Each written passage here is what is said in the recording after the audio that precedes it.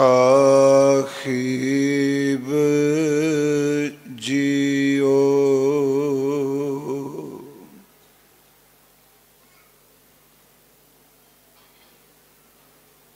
ਕਾਮੀ ਕਰੋਦੀ ਚਾਤੁਰੀ। ਬਾਜ਼ੀ ਗਰਬੇ ਕਾਮ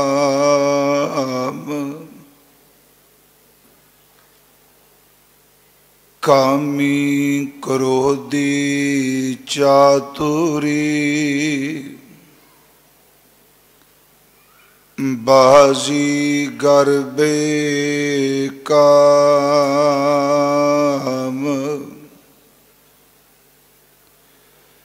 ਨਿੰਦਾ ਕਰਤੇ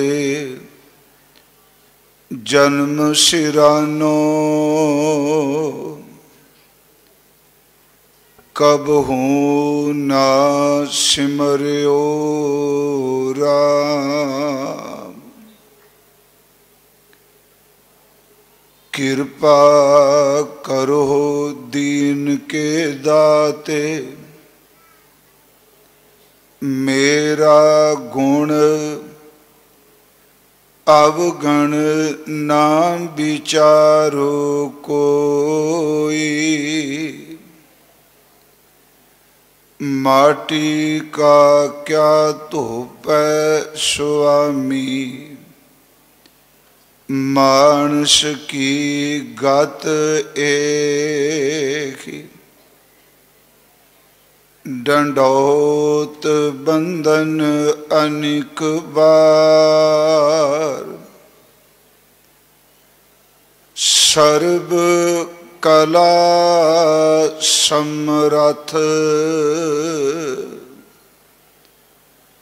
ਡੋਲਨ ਤੇ ਰਾਖੋ ਪ੍ਰਭੂ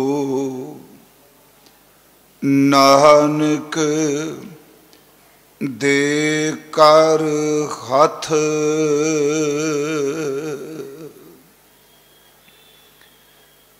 ਪਰਮ ਸਨਮਾਨਯੋਗ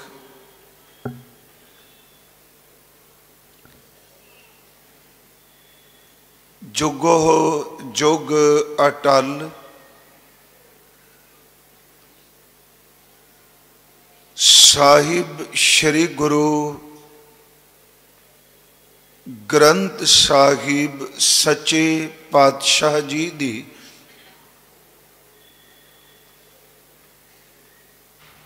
ਪਾਵਨ ਪਵਿੱਤਰ ਹਜ਼ੂਰੀ ਅੰਦਰ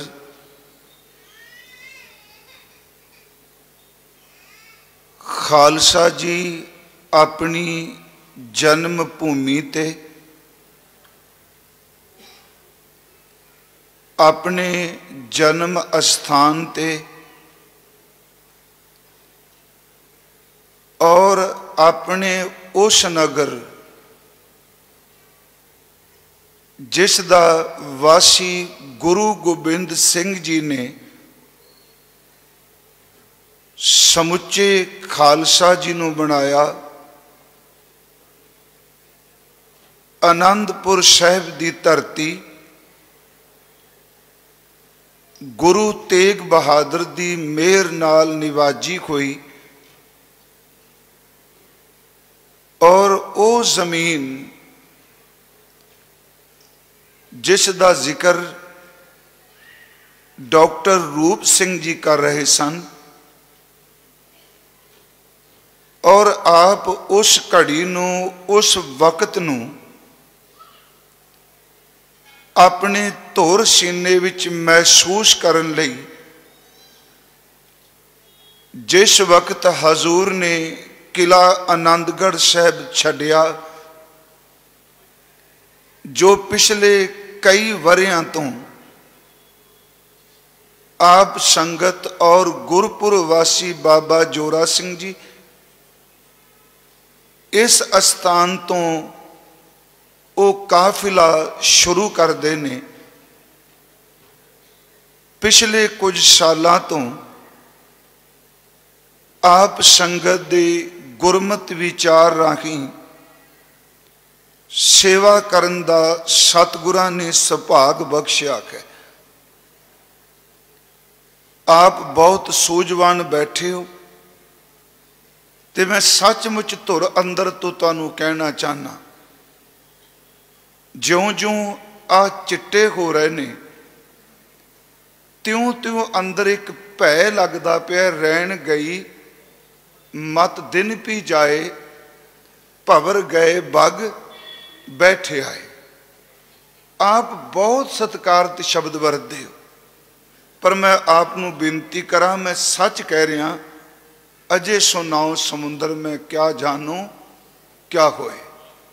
ਸਨਮਾਨਯੋਗ ਡਾਕਟਰ ਰੂਪ ਸਿੰਘ ਜੀ ਨੇ ਥੋੜੇ ਲਫ਼ਜ਼ਾਂ ਵਿੱਚ ਗੁਰੂ ਨਾਨਕ ਸਾਹਿਬ ਜੀ ਦੀ ਜੋ ਰਹਿਮਤ ਮਾਨਵਤਾ ਨੂੰ ਹਾਸਲ ਹੋਈ, ਉਸ ਦਾ ਜ਼ਿਕਰ ਕੀਤਾ। ਸਾਡੇ ਦਰਮਿਆਨ ਸਿੰਘ ਸਾਹਿਬ ਗਿਆਨੀ ਰਗਬੀਰ ਸਿੰਘ ਜੀ ਜਥੇਦਾਰ ਸ੍ਰੀ ਕੇਸਗੜ ਸਾਹਿਬ ਔਰ ਮਹਾਨ ਵਿਦਵਾਨ ਪ੍ਰਿੰਸੀਪਲ ਸੁਰਿੰਦਰ ਸਿੰਘ ਜੀ ਭਾਈ ਅਮਰਜੀਤ ਸਿੰਘ ਜੀ ਚਾਵਲਾ ਸਾਡੇ ਸ਼੍ਰੋਮਣੀ ਕਮੇਟੀ ਮੈਂਬਰ ਪਿੰਦਰ ਸਾਹਿਬ ਜੀ ਔਰ ਆਪ ਸਮੂਹ ਸੰਗਤ ਜਿੰਨੇ ਗੁਰਮੁਖ ਬੈਠੇ ਹੋ ਸਨਮਾਨਯੋਗ ਬਾਬਾ ਜਰਨੈਲ ਸਿੰਘ ਜੀ, ਮੈਂ ਇਸ ਕਰਕੇ ਤੁਹਾਡੇ ਨਾਵਾਂ ਦਾ ਜ਼ਿਕਰ ਕੀਤਾ ਹੈ।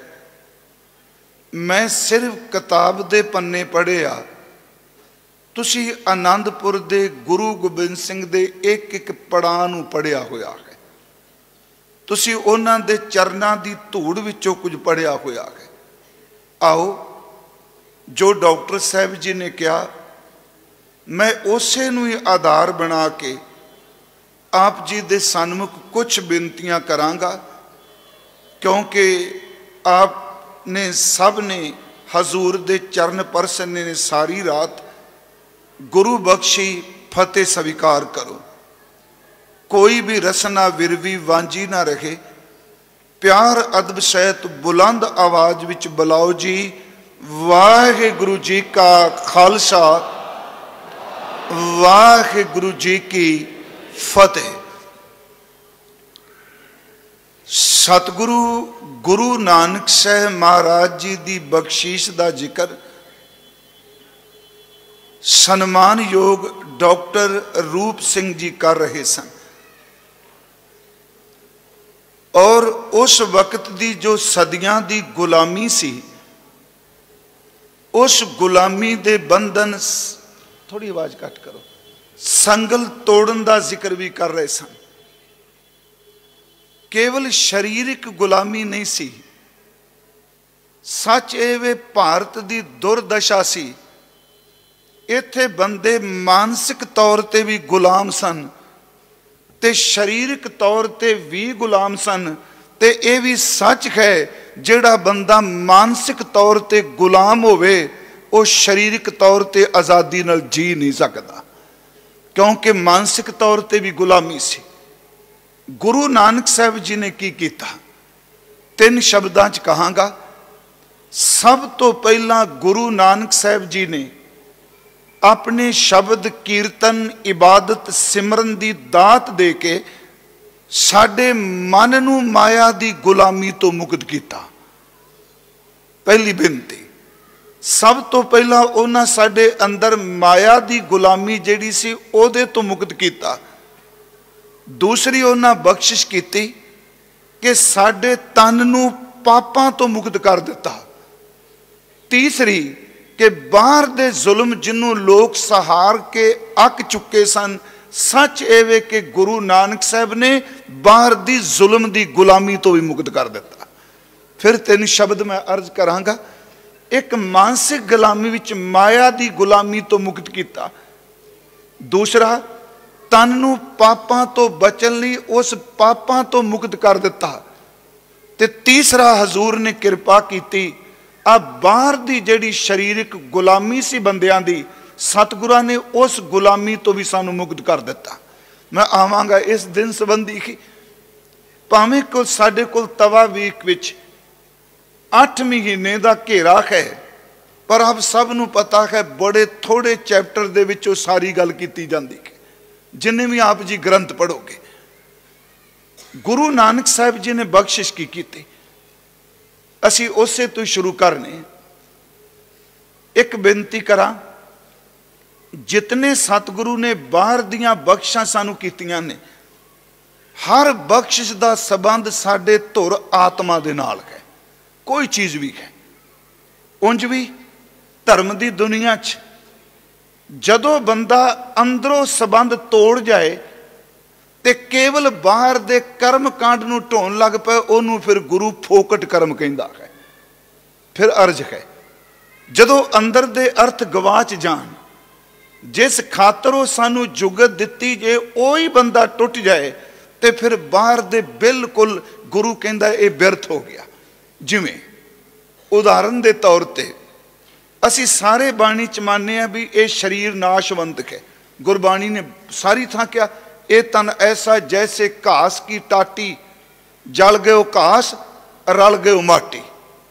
ਗੁਰੂ ਗ੍ਰੰਥ ਸਾਹਿਬ ਜੀ ਨੇ ਇਹ ਸ਼ਬਦ ਵਰਤੇ, ਤੂੰ ਕਾਹੇ ਗਰਬੈ ਬਾਵਲੀ, ਜੈਸੇ ਭਾਦੋ ਖੂੰਬਦਾਇ ਤੂੰ ਤਿਸ ਤੇ ਖਰੀ ਉਤਾਵਲੀ। ਭਗਤ ਰਵਿਦਾਸ ਜੀ, ਕਿ ਜਿਵੇਂ ਭਾਦਰੋ ਦੀ ਖੁੰਬ ਹੈ ਇਹ ਨਾਸ਼ਵੰਤ ਹੈ। ਪਰ ਜਿੱਥੇ ਇਹਦੀ ਨਾਸ਼ਵੰਤਾ ਦਾ ਜ਼ਿਕਰ ਕੀਤਾ, ਉੱਥੇ ਗੁਰੂ ਗ੍ਰੰਥ ਸਾਹਿਬ ਨੇ ਕਿਹਾ, ਕੇਵਲ ਇਹ ਹੀ ਮੌਕਾ ਹੈ ਜੇ ਸੰਭਲ ਜਾਏਗਾ ਤੇ ਕਿਨਾਰੇ ਲੱਗ ਜਾਏਗਾ, ਜੇ ਇਹ ਵਿਅਰਥ ਚਲਾ ਗਿਆ ਤੇ ਸਭ ਕੁਝ ਖਤਮ ਹੋ ਜਾਏਗਾ। ਸੁਣਿਓ ਇਸ ਬੇਨਤੀ ਨੂੰ ਕਹਿਤਾ ਨਾਸ਼ਵੰਤ, ਇਹ ਸਰੀਰ ਨੇ ਸੜਨਾ ਹੈ। ਸਾਰੇ ਅਸੀਂ ਬਾਣੀ ਚੋਂ ਬੇਅੰਤ ਸ਼ਬਦ ਪੜਨੇ ਆ ਹਾਰਡ ਜਰੈ ਜਿਉ ਲਾਕਰੀ, ਕੇਸ ਜਰੈ ਜਿਉ ਘਾਸ, ਇਹ ਜਗ ਜਲਤਾ ਦੇਖ ਕੇ ਭਇਓ ਕਬੀਰ ਉਦਾਸ। ਪਰ ਜਦੋਂ ਅਸੀਂ ਗੁਰੂ ਕੋਲ ਆਉਨੇ ਆ ਇਸ ਨਾਸ਼ਵੰਤ ਸਰੀਰ ਦੇ ਖੱਥਾਂ ਨੂੰ ਕਿਉਂ ਜੋੜ ਲੈਨੇ ਆ ਇਹ ਤਾਂ ਨਾਸ਼ਵੰਤ ਨੇ। ਇਹਨਾਂ ਨੇ ਖਤਮ ਹੋ ਜਾਣਾ ਹੈ। ਪਰ ਜਦੋਂ ਅਸੀਂ ਗੁਰੂ ਜੀ ਕੋਲ ਆਉਨੇ ਆ ਹੱਥ ਜੋੜਨੇ ਆ ਅਸੀਂ ਜਦੋਂ ਆਪਣੇ ਮੁਰਸ਼ਿਦ ਸਾਹਮਣੇ ਆਉਨੇ ਆ ਮੱਥਾ ਟੇਕਨੇ ਆ ਜਦੋਂ ਸਤਿਗੁਰੂ ਦੇ ਸਾਹਮਣੇ ਆਉਨੇ ਆ ਅਸੀਂ ਪਰਕਰਮਾ ਕਰਨੇ ਖਾਂ। ਗੁਰਮਖੋ, ਇਹ ਸਾਰੀਆਂ ਚੀਜ਼ਾਂ ਕੇਵਲ ਕਰਮ ਕਾਂਡ ਨਹੀਂ ਇਹਨਾਂ ਸਾਰੀਆਂ ਚੀਜ਼ਾਂ ਦੇ ਧੁਰ ਅੰਦਰ ਦੇ ਅਰਥ ਨੇ।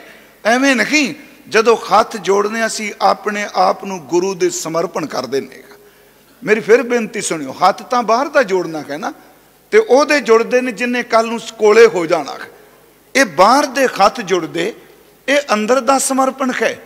ਤੇ ਇੱਥੋਂ ਤੱਕ ਦਾਸ ਪਿਛਲੇ ਦਿਨੀ ਇੱਕ ਬੇਨਤੀ ਕੀਤੀ, ਜਦੋਂ ਦੀਵਾਨ ਚੱਲ ਰਹੇ ਸਨ ਕਿ ਸਿੱਖ ਕਰਕੇ ਕਦੀ ਅਹਿਸਾਨ ਨਹੀਂ ਜਤਾਉਂਦਾ। ਫਿਰ ਬੇਨਤੀ ਕਦੀ ਵੀ ਸਿੱਖ ਜਿਤਨੇ ਵੀ ਕਰਮ ਕਰੇਗਾ, ਕਦੀ ਉਹ ਗੁਰੂ ਨੂੰ ਅਹਿਸਾਨ ਨਹੀਂ ਜਤਾਉਂਦਾ, ਉਹ ਸੇਵਾ ਕਰਕੇ ਵੀ ਕਹਿੰਦਾ, ਕਬੂਲ ਕਰ ਰਹੀ, ਮੈਂ ਕਰ ਨਹੀਂ ਸਕਿਆ। ਜਦੋਂ ਭਾਈ ਸਾਹਿਬ ਇੱਕ ਦਿਨ ਇਹ ਸ਼ਬਦ ਪੜ ਰਹੇ ਸਨ ਕਿ ਸਤਗੁਰ ਆਗੇ ਸੀਸ ਭੇਟ ਦਿਓ ਬੜੀ ਵੱਡੀ ਗੱਲ ਸਿਰ ਦੇ ਦੇਣਾ। ਅਹਿਸਾਨ ਥੋੜਾ ਕਮਾਲ ਦੀ ਗੱਲ, ਸੀਸ ਭੇਟ ਕਰਕੇ ਵੀ ਕਹਿੰਦੇ ਨੇ, ਮੈਂ ਇਹਦੇ ਲਾਇਕ ਨਹੀਂ, ਜੇ ਤੈਨੂੰ ਚੰਗਾ ਲੱਗੇ ਤੇ ਪ੍ਰਵਾਨ ਕਰ ਲੈ। ਸੀਸ ਭੇਟ ਕਰਨਾ ਸਮਰਪਣ ਹੈ, ਪਰ ਸਮਰਪਣ ਚ ਦਾਵਾ ਨਹੀਂ। ਸਤਗੁਰ ਆਗੇ ਸੀਸ ਭੇਟ ਦਿਓ ਜੇ ਸਤਗੁਰ ਸੱਚ ਹੈ ਭਾਵੇਂ ਜੇ ਤੈਨੂੰ ਭਾਏਗਾ, ਤੇ ਤਾਂ ਹੀ ਹੈ ਨਹੀਂ ਤਾਂ ਮੇਰੇ ਕੱਲੇ ਨਾਲ ਕੀ ਬੰਨਾ ਜਿਵੇਂ ਅਸੀਂ ਆਨੰਦ ਸਾਹਿਬ ਪੜ੍ਹਨੇ ਕਿ ਤਨ, ਮਨ, ਧਨ ਸਭ ਸੌਂਪ ਗੁਰ ਕੋ। ਅਮਾਰੀ ਦੀ ਬਾਣੀ, ਆਵੋ ਸੰਤ ਪਿਆਰਿਓ, ਅਕਾਥੀ ਕਰਾਂ ਕਹਾਣੀ। ਤਨ, ਮਨ, ਧਨ ਸਭ ਸੌਂਪ ਗੁਰ ਕੋ ਹੁਣ ਇੰਨਾ ਕੁ ਸੌਂਪ ਕੇ ਇਹ ਥੋੜਾ ਆਸਾਨ ਰੱਖਿਆ ਵੀ ਮੈਂ ਕੀਤਾ, ਅਗਲਾ ਬਚਨ ਕੀਤਾ, ਮਹਾਰਾਜ, ਕਹਿੰਦੇ ਸਭ ਕੁਝ ਦੇ ਕੇ ਵੀ ਆਪਣੀ ਮੈਂ ਮਾਰਦੇ ਹੁਕਮ ਮੰਨਿਆ ਪਾਈਏ ਫਿਰ ਬੇਨਤੀ ਹੈ, ਅਸੀਂ ਜੇ ਹੱਥ ਜੋੜਨੇ ਖਾਂ ਇਹ ਸਮਰਪਣ ਹੈ। ਜਦੋਂ ਅਸੀਂ ਮੱਥਾ ਟੇਕਨੇ ਆ ਸੱਚ ਇਹ ਵੇ ਮੱਥਾ ਟੇਕਣਾ ਆਪਣੀ ਮਤ ਨੂੰ, ਆਪਣੇ ਅੰਦਰ ਨੂੰ ਗੁਰੂ ਦੇ ਸਮਰਪਣ ਕਰਨਾ ਹੈ। ਇੱਕ ਹੋਰ ਬੇਨਤੀ ਅਸੀਂ ਪ੍ਰਕਰਮਾ ਕਰਨੇ ਖਾਂ ਦਾਸ ਨੇ ਇੱਕ ਵਾਰ ਅਰਜ਼ ਕੀਤੀ, ਲਾਵਾਂ ਵੇਲੇ ਚਾਰ ਪ੍ਰਕਰਮਾ ਕਰਨੇ। ਮੈਂ ਆਵਾਂਗੇ ਸੋ ਕਿਉਂਕਿ ਮੈਨੂੰ ਥੋੜਾ ਜਿਹਾ, ਮੈਂ ਕਿਹਾ ਵੀ ਇਹ ਬੋਲਣ ਥੋੜਾ ਜਿਹਾ। ਉਹਦਾ ਕਾਰਨ ਹੁੰਦਾ ਹੈ। ਇਹ ਇਹ ਕੌਮੇ 'ਚ, ਇਹ ਬਟਰਿੰਗ ਸੁਣਿਓ ਭਾਈ ਰੂਪ ਸਿੰਘ ਜੀ, ਜਦੋਂ ਬੁਲਾਰਾ ਕੋਈ ਬੋਲਦਾ ਹੈ ਤੇ ਬੋਲਣ ਵਾਲੇ ਨੂੰ ਕਈ ਵੀ ਗੱਲ ਨਾ ਕੋਈ ਸੁਝੇ, ਉਹਦੇ ਵਿੱਚੋਂ ਬਹੁਤ ਕੁਝ ਮਿਲ ਜਾਂਦਾ ਇੱਕ ਵਾਰੀ ਕਹਿੰਦੇ ਨੇ ਕੋਈ ਖਾਤੀ ਸੀ, ਲੜਾਈ 'ਚ ਲੜਨ ਵਾਲਾ ਜੰਗਜੂ। ਉਹ ਫਸ ਗਿਆ ਵਿੱਚ ਚਿੱਕੜ ਦੇ। ਤੇ ਉਹਨੂੰ ਆ ਕੇ ਰੱਸੇ ਲਿਆਂਦੇ ਨੂੰ ਖਿੱਚੋ, ਬਾਕੀ ਹਾਥੀ ਲਿਆਂਦੇ ਨੂੰ ਖਿੱਚੋ। ਉਹ ਬੁੱਢਾ ਹੋ ਚੁੱਕਾ ਸੀ। ਤੇ ਉਹਨੂੰ ਕਿਸੇ ਕਿਹਾ ਵੀ ਇਹ ਖਿੱਚਿਆਂ ਬਾਹਰ ਨਹੀਂ ਨਿਕਲਣਾ, ਇੱਕ ਕੰਮ ਕਰੋ ਜਿਹੜਾ ਦਾ ਮਹਾਵਤ ਹੈ ਉਹਨੂੰ ਲਿਆਓ। ਉਹਨਾਂ ਕਿਹਾ ਵੀ ਉਹ ਵੀ ਬੁੱਢਾ ਹੋ ਚੁੱਕਾ ਹੈ। ਉਹ ਕਿਵੇਂ ਖਿੱਚ ਕੇ ਬਾਹਰ ਕੱਢ ਦਿਊਗਾ? ਕਹਿੰਦਾ ਉਹਨੂੰ ਲਿਆਓ ਤਾਂ ਸਹੀ। ਜਦੋਂ ਲਿਆਂਦਾ, ਉਹਨੂੰ ਕਹਿੰਦੇ ਨੇ, ਦਲਦਲ ਚੋਂ ਬਾਹਰ ਕੱਢਣਾ ਕਿਵੇਂ ਕੱਢੀਏ? ਉਹ ਕਹਿੰਦਾ, ਰੱਸੇ ਖੋਲ ਦਿਓ। ਕਹਿੰਦਾ, ਕਿਉਂ? ਕਹਿੰਦਾ, ਰੱਸਿਆਂ ਨਾਲ ਨਿਕਲਣ ਵਾਲਾ ਨਹੀਂ। ਤੁਸੀਂ ਨਗਾਰੇ ਵਜਾਓ, ਨਗਾਰੇ ਦੀ ਚੋਟ ਨਾਲ ਛਾਲ ਮਾਰ ਕੇ ਨੇ ਆਪਣੇ ਆਪ ਬਾਹਰ ਆ ਜਾਣਾ। ਯਾਦ ਰੱਖਿਓ, ਮੈਂ ਤੁਹਾਨੂੰ ਕਿਉਂ ਕਿਹਾ ਵੀ ਬੁਲਾਓ ਥੋੜਾ ਜਿਹਾ ਪਹਿਲਾਂ। ਉਹ ਉਹਦਾ ਕਾਰਨ ਹੁੰਦਾ ਹੈ ਕਿ ਜਦੋਂ ਸ਼ਬਦ ਕੋਈ ਮਿਲ ਜਾ ਉਹਨੇ ਸੱਚ ਕਿਹਾ, ਕਹਿੰਦਾ, ਇਹ ਰੱਸਿਆਂ ਨਾਲ ਨਹੀਂ ਨਿਕਲਣਾ। ਇਹਦੀ ਜਿਹੜਾ ਇਹਦੇ ਅੰਦਰ ਲੁਕਿਆ ਹੋਇਆ ਜ਼ੋਰ ਹੈ ਬੁੱਢਾ ਨਹੀਂ ਹੋਇਆ। ਇਹ ਨਗਾਰੇ ਦੀ ਚੋਟ ਨਾਲ ਦਲਾਂ ਨੂੰ ਚੀਰ ਕੇ ਨਿਕਲਦਾ ਰਿਹਾ ਹੈ। ਦਲਦਲ ਇਹਦੇ ਸਾਹਮਣੇ ਕੀ ਹੈ? ਉਹਨੇ ਮਾਰੀ ਨਗਾਰੇ ਤੇ ਚੋਟ ਹਾਥੀ ਦਲਦਲ ਤੋਂ ਬਾਹਰ ਨਿਕਲ ਗਿਆ। ਮੈਨੂੰ ਇਹਨਾਂ ਕੋਈ ਸ਼ਬਦ ਦੇ ਦਿੱਤੇ। ਮੈਂ ਆਪ ਨੂੰ ਬੇਨਤੀ ਕਰਾਂ ਸੀ, ਮੱਥਾ ਟੇਕਨੇ, ਮੱਥਾ ਟੇਕਣਾ ਸਮਰਪਣ ਹੈ ਆਪ ਸੂਝਵਾਨ ਬੈਠੇ ਹੋ। ਪ੍ਰਿੰਸੀਪਲ ਸਾਹਿਬ ਬੈਠਿਆ ਅੱਜ ਸਾਡਾ ਦੁਖਾਂਤ ਹੈ। ਅਸੀਂ ਇੱਕ ਪਾਸੜ ਲੈ ਕੇ ਵਿਆਖਿਆ ਕਰਨੇ ਅਸੀਂ ਬਰਾਬਰ ਤੋਲ ਲਾ ਕੇ ਵਿਆਖਿਆ ਕਰੀਏ। ਇਸ਼ਨਾਨ ਦਾ ਖੰਡਨ ਵੀ ਹੈ। ਪਰ ਯਾਦ ਰੱਖਿਓ, ਇਸ਼ਨਾਨ ਦਾ ਮੰਡਨ ਵੀ ਹੈ। ਜਪ ਦਾ ਖੰਡਨ ਵੀ ਹੈ ਤੇ ਜਪ ਕਮਾਉਣ ਵਾਸਤੇ ਵੀ ਕਿਹਾ ਹੈ। ਮੱਥਾ ਟੇਕਣ ਦਾ ਖੰਡਨ ਵੀ ਹੈ ਤੇ ਗੁਰੂ ਚਰਨਾਂ ਵਿੱਚ ਮੱਥਾ ਰੱਖਣ ਵਾਸਤੇ ਸਾਨੂੰ ਹੁਕਮ ਵੀ ਕੀਤਾ ਹੈ। ਜੇ ਦੋਨੋਂ ਸ਼ਬਦ ਅਸੀਂ ਦੇਖੀਏ, ਕਿਉਂਕਿ ਆਪ ਬਾਣੀ ਪੜਨ ਵਾਲੇ ਸੌਖਾ ਲੱਗਣਾ ਇੱਕ ਪਾਸੇ ਇਸ਼ਨਾਨ ਦਾ ਖੰਡਨ ਨੇ ਸੋਚਿਆ ਸੋਚ ਨਾ ਹੋਵਈ, ਜੇ ਸੋਚੀ ਲੱਖ ਵਾਰ। ਖੰਡਨ ਨੇ ਨਾ ਜੀ? ਜਲ ਕੇ ਮੱਜਨ ਜੇਗਤ ਹੋਵੇ, ਨਿਤ ਨਿਤ ਮੇਂਢਕ ਨਾਵੇ। ਪਰ ਦੂਜੇ ਪਾਸੇ ਜਦੋਂ ਗੁਰੂ ਨੇ ਮਰਿਆਦਾ ਦੀ ਗੱਲ ਕੀਤੀ, ਮਰਿਆਦਤ ਕਰਦਿਆਂ ਕਿਹਾ, ਉਠ ਇਸ਼ਨਾਨ ਕਰੋ ਪ੍ਰਭਾਤੇ, ਸੋਏ ਹਰ ਆਰਾਧੇ। ਗੁਰੂ ਨੇ ਆਵਾਜ਼ ਦੇ ਕੇ ਕਿਹਾ, ਅੰਮ੍ਰਿਤ ਬਾਣੀ ਚ ਅਸੀਂ ਪੜ੍ਹਨੇ ਕਰ ਇਸ਼ਨਾਨ, ਸਿਮਰ ਪ੍ਰਭ ਆਪਣਾ, ਮਨ ਤਨ ਭਏ ਅਰੋਗਾ। ਗੁਰੂ ਜੀ ਨੇ ਆਵਾਜ਼ ਦੇ ਕੇ ਕਿਹਾ, ਉਦਮ ਕਰੇ ਭਲਕੇ ਪ੍ਰਭਾਤੀ, ਇਸ਼ਨਾਨ ਕਰੇ ਅੰਮ੍ਰਿਤਸਰ ਨਾ ਆਵੇ ਥੋੜਾ ਜਿਹਾ ਕਿਉਂਕਿ ਮੇਰੇ ਮਨ 'ਚ ਕਾਫੀ ਗੱਲਾਂ ਸਨ ਜੋ ਡਾਕਟਰ ਸਾਹਿਬ ਨੇ ਕੀਤੀਆਂ, ਅੰਦਰੋਂ ਆ ਗਈਆਂ। ਦੇਖੋ, ਇੱਕ ਸ਼ਬਦ ਅੰਮ੍ਰਿਤ ਵੇਲੇ ਦਾ ਇਸ਼ਨਾਨ ਕਿਹਾ, ਬਾਕੀ ਤਾਂ ਨਹਾਉਣਾ ਹੀ ਹੋ ਜਾਂਦਾ ਹੈ। ਸੱਚੀ ਜੇ, ਮੇਰੇ ਮਨ 'ਚ ਬੜਾ ਆਇਆ ਵੀ ਜਿਹੜਾ ਭਲਕੇ ਸ਼ਬਦ ਹੈ ਪੰਜਾਬੀ 'ਚ, ਇਹ ਇਹ ਦੋ ਕਾਲ ਵਿੱਚ ਵਰਤਿਆ ਜਾਂਦਾ ਪਾਸਟ ਤੇ ਫਿਊਚਰ ਵਿੱਚ। ਭਲਕੇ ਕਹਿੰਦੇ ਮੈਂ ਇਹ ਭਲਕੇ ਭਲਕੇ ਦੀ ਤੇ ਗੱਲ ਹੈ ਜੀ ਭਲਕੇ ਤਾਂ ਇੱਥੇ ਤੁਰਿਆ ਫਿਰਦਾ ਇਹਦਾ ਮਤਲਬ ਬੀਤਿਆ ਹੋਇਆ ਦਿਨ। ਮੈਂ ਭਲਕੇ ਕਰਾਂਗਾ। ਹੁਣ ਜਦੋਂ ਭਲਕੇ ਸ਼ਬਦ ਫਿਊਚਰ ਤੇ ਪਾਸਟ ਦੇ ਅਰਥਾਂ ਚ ਆਉਂਦਾ ਹੈ ਤੇ ਉਦੋਂ ਭਲਕੇ ਸ਼ਬਦ ਚ ਮਨ ਇਹ ਵੀ ਵਿਆਖਿਆ ਕਰ ਦਿੰਦੇ ਨੇ ਵੀ ਨਹੀਂ ਨਹੀਂ, ਭਲਕੇ ਦਾ ਅਰਥ ਸਾਰਾ ਦਿਨ ਵੀ ਹੋ ਸਕਦਾ ਪਰ ਗੁਰੂ ਸਾਹਿਬ ਨੇ ਬੜੀ ਬਖਸ਼ਿਸ਼ ਕੀਤੀ। ਉਹਨਾਂ ਨੇ ਭਲਕੇ ਨਾਲ ਇੱਕ ਲਫ਼ਜ਼ ਪ੍ਰਭਾਤੀ ਪਾ ਦਿੱਤਾ। ਕਿਉਂਕਿ ਭਲਕੇ ਤੇ ਪ੍ਰਭਾਤੀ ਨੇ ਵਿਆਖਿਆ ਕਰ ਦਿੱਤੀ ਇਹ ਸ਼ਬਦ ਅੰਮ੍ਰਿਤ ਵੇਲੇ ਲਈ। ਹੈ ਤੇ ਨਾਲੇ ਅੰਮ੍ਰਿਤ ਵੇਲੇ ਨੂੰ ਖੰਡਨ ਕਰਨ ਦੀ ਥਾਂ, ਇਹ ਮਾਨ ਨਾਲ ਕਹੋ ਕਿ ਭਾਰਤ ਦੇ ਕੀ ਪੂਰਬ ਦੇ ਸਾਹਿਤ ਵਿੱਚ ਅੰਮ੍ਰਿਤ ਵੇਲਾ ਸ਼ਬਦ ਕਿਸੇ ઋષਿ ਮੁਨੇ ਨੇ ਵਰਤਿਆ। ਸਭ ਤੋਂ ਪਹਿਲਾਂ ਅੰਮ੍ਰਿਤ ਵੇਲੇ ਸ਼ਬਦ ਦੀ ਵਿਆਖਿਆ ਤੇ ਵਰਤੋਂ ਕੇਵਲ ਗੁਰੂ ਨਾਨਕ ਸਾਹਿਬ ਨੇ ਕੀਤੀ। ਇਹ ਗੁਰੂ ਨਾਨਕ ਸਾਹਿਬ ਦਾ ਘੜਿਆ ਹੋਇਆ ਸ਼ਬਦ ਹੈ ਅੰਮ੍ਰਿਤ ਵੇਲਾ। ਆਪ ਸਭ ਨੂੰ ਪਤਾ ਹੈ, ਉਸ ਤੋਂ ਪਹਿਲਾਂ ਪ੍ਰਭਾਤ ਹੈ ਸੰਧਿਆ ਹੈ ਇਹ ਸ਼ਬਦ ਕਹਿਣ ਪਿਛਲ ਪੈਰ ਹੈ ਪਰ ਅੰਮ੍ਰਿਤ ਵੇਲਾ ਸ਼ਬਦ ਗੁਰੂ ਨਾਨਕ ਸਾਹਿਬ ਦਾ ਰਹੋ ਵਿਚਾਰ ਕਿ ਅਸੀਂ ਗੁਰੂ ਸਾਹਿਬ ਜੀ ਦੀ ਸਾਹਮਣੇ ਹੱਥ ਜੋੜਨੇ ਆ, ਮੱਥਾ ਟੇਕਨੇ ਆ। ਗੁਰੂ ਸਾਹਿਬ ਮੱਥੇ ਦਾ ਮੰਡਨ ਕਰ ਰਹੇ ਆ, ਹੱਥ ਜੋੜਨ ਦਾ ਮੰਡਨ ਕਰ ਰਹੇ ਆ। ਤੇ ਜਦੋਂ ਅੰਦਰੋਂ ਬੰਦਾ ਖੋਟਾ ਹੋ ਜਾਏ, ਉਦੋਂ ਗੁਰੂ ਕਹਿੰਦਾ, ਨਹੀਂ ਨਹੀਂ, ਹੁਣ ਸਿਰਫ ਢਾਂਚਾ ਝੁਕ ਰਿਹਾ, ਗੱਲ ਨਹੀਂ ਬਣਨੀ। ਮੈਂ ਤਾਂ ਕਿਹਾ ਵੀ ਇਹ ਇਸ ਆਨੰਦਪੁਰ ਦੇ ਬੜੇ ਡੂੰਘੇ ਅਰਥਾ ਪਿਆਰਿਓ, ਇਹ ਕਿਲੇ ਐਵੇਂ ਨਖੀ ਇੱਕ ਪਾਸੇ ਗੁਰਦੇਵ ਮੰਡਨ ਕਰਕੇ ਕਹਿੰਦੇ ਆ ਕਿ ਕਰ ਸਾਧੂ ਅੰਜੁਲੀ ਪੁੰਨ ਵੱਡਾ ਹੈ ਹੱਥ ਜੋੜੇ ਇਦੂ ਵੱਡਾ ਪੁੰਨ ਕੋਈ ਨਹੀਂ ਗੁਰੂ ਅੱਗੇ। ਅਗਲਾ ਸ਼ਬਦ, ਕਰ ਡੰਡੌਤ ਪੁੰਨ ਵੱਡਾ ਹੈ ਤੂੰ ਡੰਡੌਤ ਕਰ ਬੜਾ ਵੱਡਾ ਪੁੰਨ ਹੈ ਡੰਡੌਤ ਡੰਡੇ ਦੀ ਤਰ੍ਹਾਂ। ਤੇ ਉਂਝ ਮੈਂ ਫਿਰ ਅਰਥ ਅਰਧ ਕਰਾਂ, ਇਹ ਡੰਡੇ ਦੀ ਤਰ੍ਹਾਂ ਦਾ ਅਰਥ ਲੰਮਾ ਲੇਟਣਾ ਸਿੱਧਾ, ਪਰ ਉਂਝ ਡੰਡਾ ਇੱਕ ਸਮਰਪਣ ਹੈ। ਸਾਡੇ ਇੱਕ ਵਿਦਵਾਨ ਨੇ ਲਿਖਿਆ ਸੀ ਕਿ ਡੰਡਾ ਹੱਥ ਵਿੱਚ ਪਕੜੋ, ਡੰਡੇ ਨੂੰ ਕੰਧ ਨਾਲ ਰੱਖ ਦਿਓ, ਡੰਡੇ ਨੂੰ ਜ਼ਮੀਨ ਤੇ ਲਟਾ ਦਿਓ, ਡੰਡੇ ਨੂੰ ਤੁਸੀਂ ਭਾਵੇਂ ਮੋਢੇ ਤੇ ਰੱਖ ਲਓ, ਡੰਡਾ ਕਦੀ ਆਪਣੀ ਮਰਜ਼ੀ ਨਹੀਂ ਕਰਦਾ। ਡੰਡਾ ਕੇਵਲ ਜਿਹਦੇ ਹੱਥ 'ਚ ਉਹਦੀ ਮਰਜ਼ੀ ਨਾਲ ਚੱਲਦਾ ਹੈ, ਡੰਡੌਤ ਦਾ ਅਰਥ ਹੈ, ਡੰਡੇ ਦੀ ਤਰ੍ਹਾਂ ਆਪਣੇ ਆਪ ਨੂੰ ਗੁਰੂ ਦੇ ਹੱਥ ਵਿੱਚ ਦੇ ਦੇ। ਉਹਦੀ ਮਰਜ਼ੀ ਇਹ ਥੱਲੇ ਸੱਟੇ, ਉਹਦੀ ਮਰਜ਼ੀ ਇਹ ਮੋਢੇ ਤੇ ਰੱਖ ਲੈ। ਮੈਂ ਬੇਨਤੀ ਕਰਾਂ, ਹਰ ਸ਼ਬਦ ਗੁਰੂ ਨੇ ਬੜੇ ਡੂੰਘੇ ਦਿੱਤੇ। ਹਜ਼ੂਰ ਨੇ ਸ਼ਬਦ ਵਰਤਿਆ, ਕਰ ਸਾਧੂ ਅੰਜਲੀ ਪੁਨ ਵੱਡਾ ਹੈ, ਕਰ ਡੰਡੌਤ ਪੁਨ ਵੱਡਾ ਹੈ। ਇੱਕ ਸ਼ਬਦ ਅਸੀਂ ਪੜ੍ਹਨੇ ਆ ਬੰਦਨਾ ਕਰ ਬੰਦਨਾ ਇਹ ਵੀ ਮੱਥਾ ਟੇਕਣਾ ਹੈ। ਭਾਈ ਜੀ ਕਹਿੰਦੇ ਆ, ਗੁਰਦਾਸ ਸਾਹਿਬ, ਨਮਸਕਾਰ ਗੁਰਦੇਵ ਕੋ ਸਤ ਨਾਮ ਜਿਸ ਮੰਤਰ ਸੁਣਾਇਆ। ਸਤਿਗੁਰੂ ਕਹਿੰਦੇ, ਮੱਥਾ ਟੇਕ, ਚੁੱਕ। ਪਰ ਜਦੋਂ ਅੰਦਰ ਨਾ ਝੁਕੇ, ਮੱਥਾ ਝੁਕੇ ਤੇ ਮਨ ਫਨੀਅਰ ਨਾਗ ਦੀ ਤਰ੍ਹਾਂ ਫਨ ਖਲਾ ਕੇ ਖਲੋਤਾ ਹੋਵੇ, ਉਦੋਂ ਗੁਰੂ ਕਹਿੰਦਾ, ਸੀਸ ਨਵਾਇਆ, ਕਿਆ ਥੀਏ ਜਾਂ ਹਿਰਦੈ ਕਿ ਸੁਧੇ ਜਾਏ। ਉਦੋਂ ਗੁਰੂ ਜੀ ਕਹਿੰਦੇ ਨੇ, ਸਲਾਮ ਜਵਾਬ ਦੋਵੇਂ ਕਰੈ, ਮੁੰਡੋ, ਕੁੱਥਾ ਜਾਏ? ਤੇ ਨਾਲ ਕਹਿੰਦੇ, ਨਾਨਕ ਦੋਵੇਂ ਕੂੜੀਆਂ, ਥਾਏ ਨਾ ਕਾਈ, ਪਾਏ, ਮੈਂ ਬੇਨਤੀ ਕਰਾਂਗਾ ਕਿ ਹਰ ਚੀਜ਼ ਦੇ ਦੋਨੋਂ ਪੱਖ ਗੁਰੂ ਜੀ ਨੇ ਰੱਖੇ। ਇਸ ਤੋਂ ਅਗਲੀ ਬੇਨਤੀ ਥੋੜੇ ਜਨੇ ਇਹ ਬਾਹਰ ਮੁਖੀ ਕਿਉਂਕਿ ਆਪਾਂ ਹੱਥ ਵੀ ਜੋੜੀਏ ਮੱਥਾ ਵੀ ਟੇਕੀਏ ਸੱਚੀ ਮੁੱਚੀ ਮੱਥਾ ਥੱਲੇ ਲਾਈਏ। ਹੁਣ ਪ੍ਰੋਬਲਮ ਹੈ ਸਾਡੀ। ਸਾਡੇ ਬੰਦੇ ਮੱਥਾ ਟੇਕਣ ਤੋਂ ਭੱਜਦੇ ਆ, ਉਹ ਅੰਗੂਠਾ ਹੀ ਦਿਖਾਉਂਦੇ ਆ ਮਾਰੇ ਨੂੰ ਸਾਹਮਣੇ। ਨਹੀਂ ਪਿਆਰਿਓ, ਦੇਖੋ ਬਾਹਰ ਮੁਖੀ ਕਿਰਿਆ ਆਪਾਂ ਗੁਰੂ ਸਾਹਿਬ ਦੇ ਸਨਮੁਖ ਆਉਨੇ ਆ।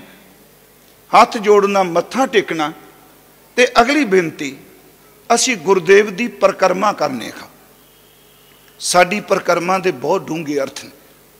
ਇਹ ਮੈਂ ਇੱਕ ਵਾਰ ਅਰਜ਼ ਕੀਤੀ ਸੀ ਕਿ ਗੁਰੂ ਗੋਬਿੰਦ ਸਿੰਘ ਜੀ ਨੇ ਭਾਈ ਨੰਦ ਲਾਲ ਸਾਹਿਬ ਜੀ ਨੂੰ ਕਿਹਾ, ਕਹਿੰਦੇ ਨੇ, ਸਿੱਖ ਅੰਮ੍ਰਿਤ ਵੇਲੇ ਉੱਠੇ, ਇਸ਼ਨਾਨ ਕਰੇ ਤੇ ਜਦੋਂ ਆਪਣਾ ਨੇਮ ਨਿਭਾ ਕੇ ਗੁਰੂ ਗ੍ਰੰਥ ਸਾਹਿਬ ਦੀ ਕੋਲ ਜਾਏ, ਉਦੋਂ ਤਿੰਨ ਪ੍ਰਕਰਮਾ ਗੁਰੂ ਗ੍ਰੰਥ ਸਾਹਿਬ ਦੀਆਂ ਕਰੇ।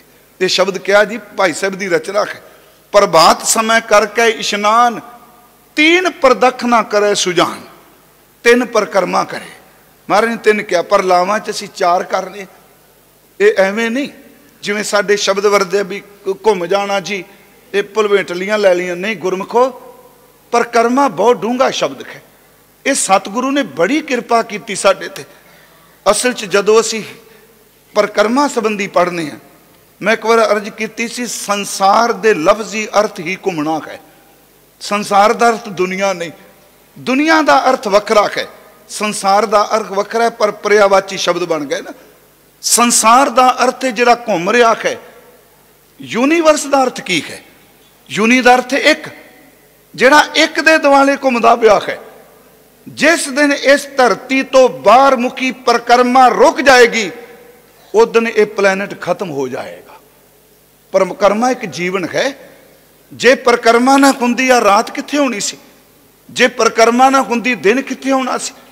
ਇੱਥੋਂ ਤੱਕ ਕਿ ਜੇ ਸਾਡੇ ਸਰੀਰ ਵਿੱਚ ਵੀ ਖੂਨ ਪ੍ਰਕਰਮਾ ਨਾ ਕਰਦਾ ਤੇ ਜ਼ਿੰਦਗੀ ਨਹੀਂ ਸੀ ਰਹਿਣੀ।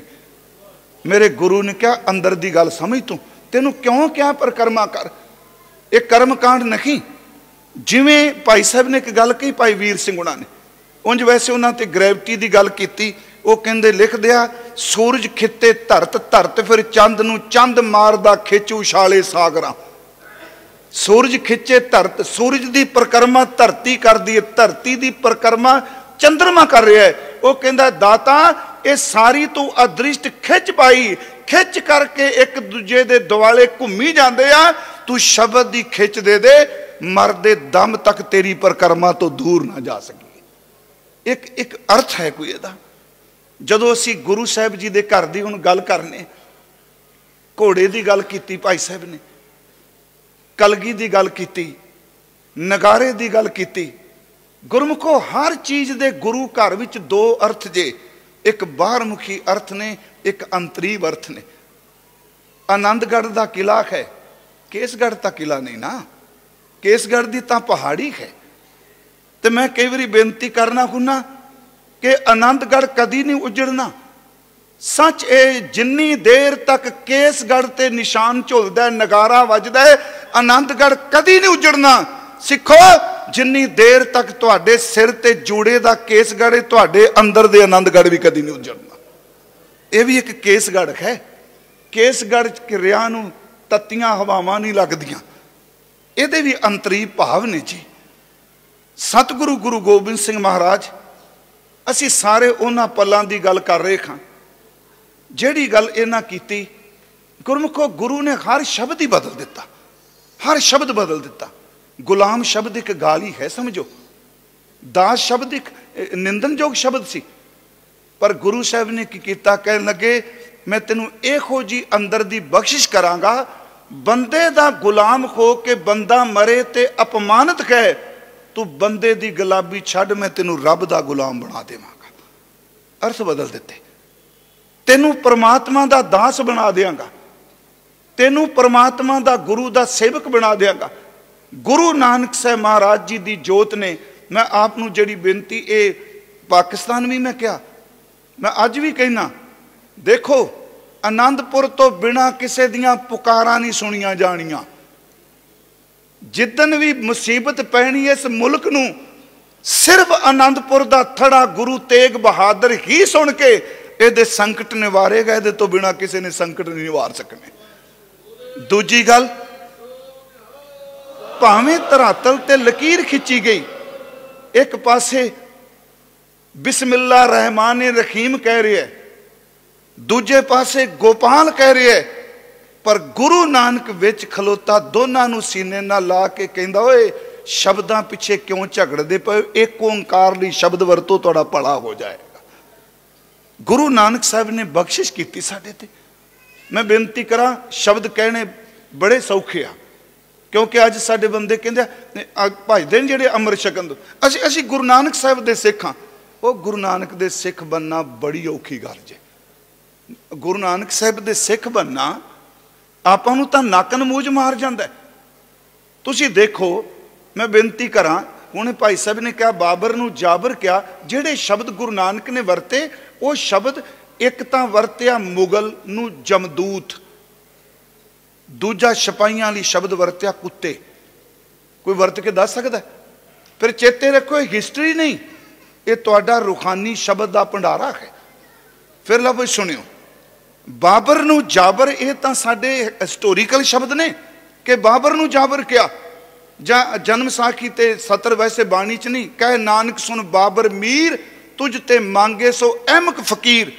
ਪਰ ਜੋ ਗੁਰੂ ਨਾਨਕ ਨੇ ਸ਼ਬਦ ਵਰਤੇ, ਉਹਨਾਂ ਨੇ ਕਿਹਾ, ਨਹੀਂ, ਇਹ ਜਮਦੂਤ ਹੈ।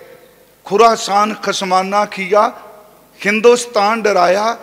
ਆਪੇ ਦੋਸ਼ ਨਾ ਦੇਈ ਕਰਤਾ ਜਮ ਕਰ ਮੁਗਲ ਚੜਾਇਆ। ਲਫ਼ਜ਼ ਜਮਦੂਤ ਵਰਤਿਆ। ਜਮ ਕਰ ਮੁਗਲ ਚੜਾਇਆ। ਤੇ ਉਹਦੇ ਵਿੱਚ ਇੱਕ ਤੋਕ ਹੈ ਕਿ ਰਕਤਨ ਵਿਗਾੜ ਵਗੋਏ ਕੁੱਤੀ, ਬਹੁਵਚਨ। ਕਹਿੰਦੇ ਨੇ ਰਤਨਾ ਵਰਗੇ ਸਰੀਰ, ਬਾਬਰ ਦੇ ਸਿਪਾਹੀਆਂ ਕੁੱਤਿਆਂ ਨੇ ਖਲਕੇ, ਕੁੱਤਿਆਂ ਨੇ ਪਾੜ ਸੁੱਟੇ।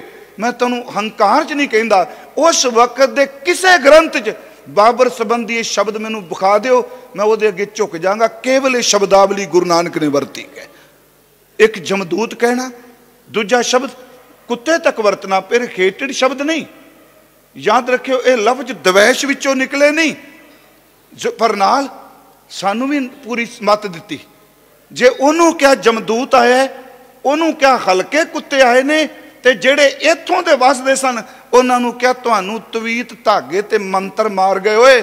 ਤੁਸੀਂ ਸ਼ਿਕਾਰ ਖੇਡਣ ਵਾਲੀਆਂ ਬੰਦੂਕਾਂ ਲੈ ਕੇ ਤੁਰੇ ਫਿਰੇ, ਤੁਸੀਂ ਤਿਆਰੀ ਕੋਈ ਨਹੀਂ ਕੀਤੀ। ਦੋਨੋਂ ਪੱਖ ਰੱਖੇ ਨਾ। ਹੁਣ ਇੱਕ ਪਾਸੇ ਅਸੀਂ ਪੜ੍ਹਦੇ ਆ ਮਹਾਰਾਜ ਸ਼ਬਦ ਵਰਦੇ ਆ ਕਿ ਧਨ ਜੋਬਨ ਤੋਂ ਵੈਰੀ ਹੋਏ ਆ ਸ਼ਬਦ ਸਨ। ਤੇ ਸੱਚ ਜੇ, ਉਦੋਂ ਕੌਮਾਂ ਮਰਦੀਆਂ ਨੇ, ਜਦੋਂ ਲੋਕ ਪੈਸੇ ਤੇ ਜਵਾਨੀ ਪਿੱਛੇ ਮਰ ਜਾਣ, ਸੱਚ ਐਵੇਂ ਕਨਕ ਤੇ ਕਾਮਨੀ ਜਿੱਦਨ ਬੰਦੇ ਨੂੰ ਖਾ ਲੈ, ਉਦੋਂ ਬੰਦਾ ਕਦੀ ਜੀ ਨਹੀਂ ਸਕਦਾ। ਬੰਦਾ ਕੀ ਕੌਮ ਮਰ ਜਾਂਦੀ ਹੈ? ਬਾਬਾ ਜੀ ਨੇ ਕਿਹਾ, ਧਨ ਜੋ ਬੰਦੇ ਵੈਰੀ ਹੋਏ ਜਿਨੀ ਰੱਖੇ ਰੰਗ ਰੰਗ ਲਾਏ। ਹੁਣ ਇਸ ਵਿੱਚੋਂ ਇੱਕ ਮੈਂ ਬੇਨਤੀ ਆਪ ਨੂੰ ਕਰਾਂਗਾ। ਦੇਖੋ, ਆਪ ਸੂਝਵਾਨ ਬੈਠੇ ਹੋ।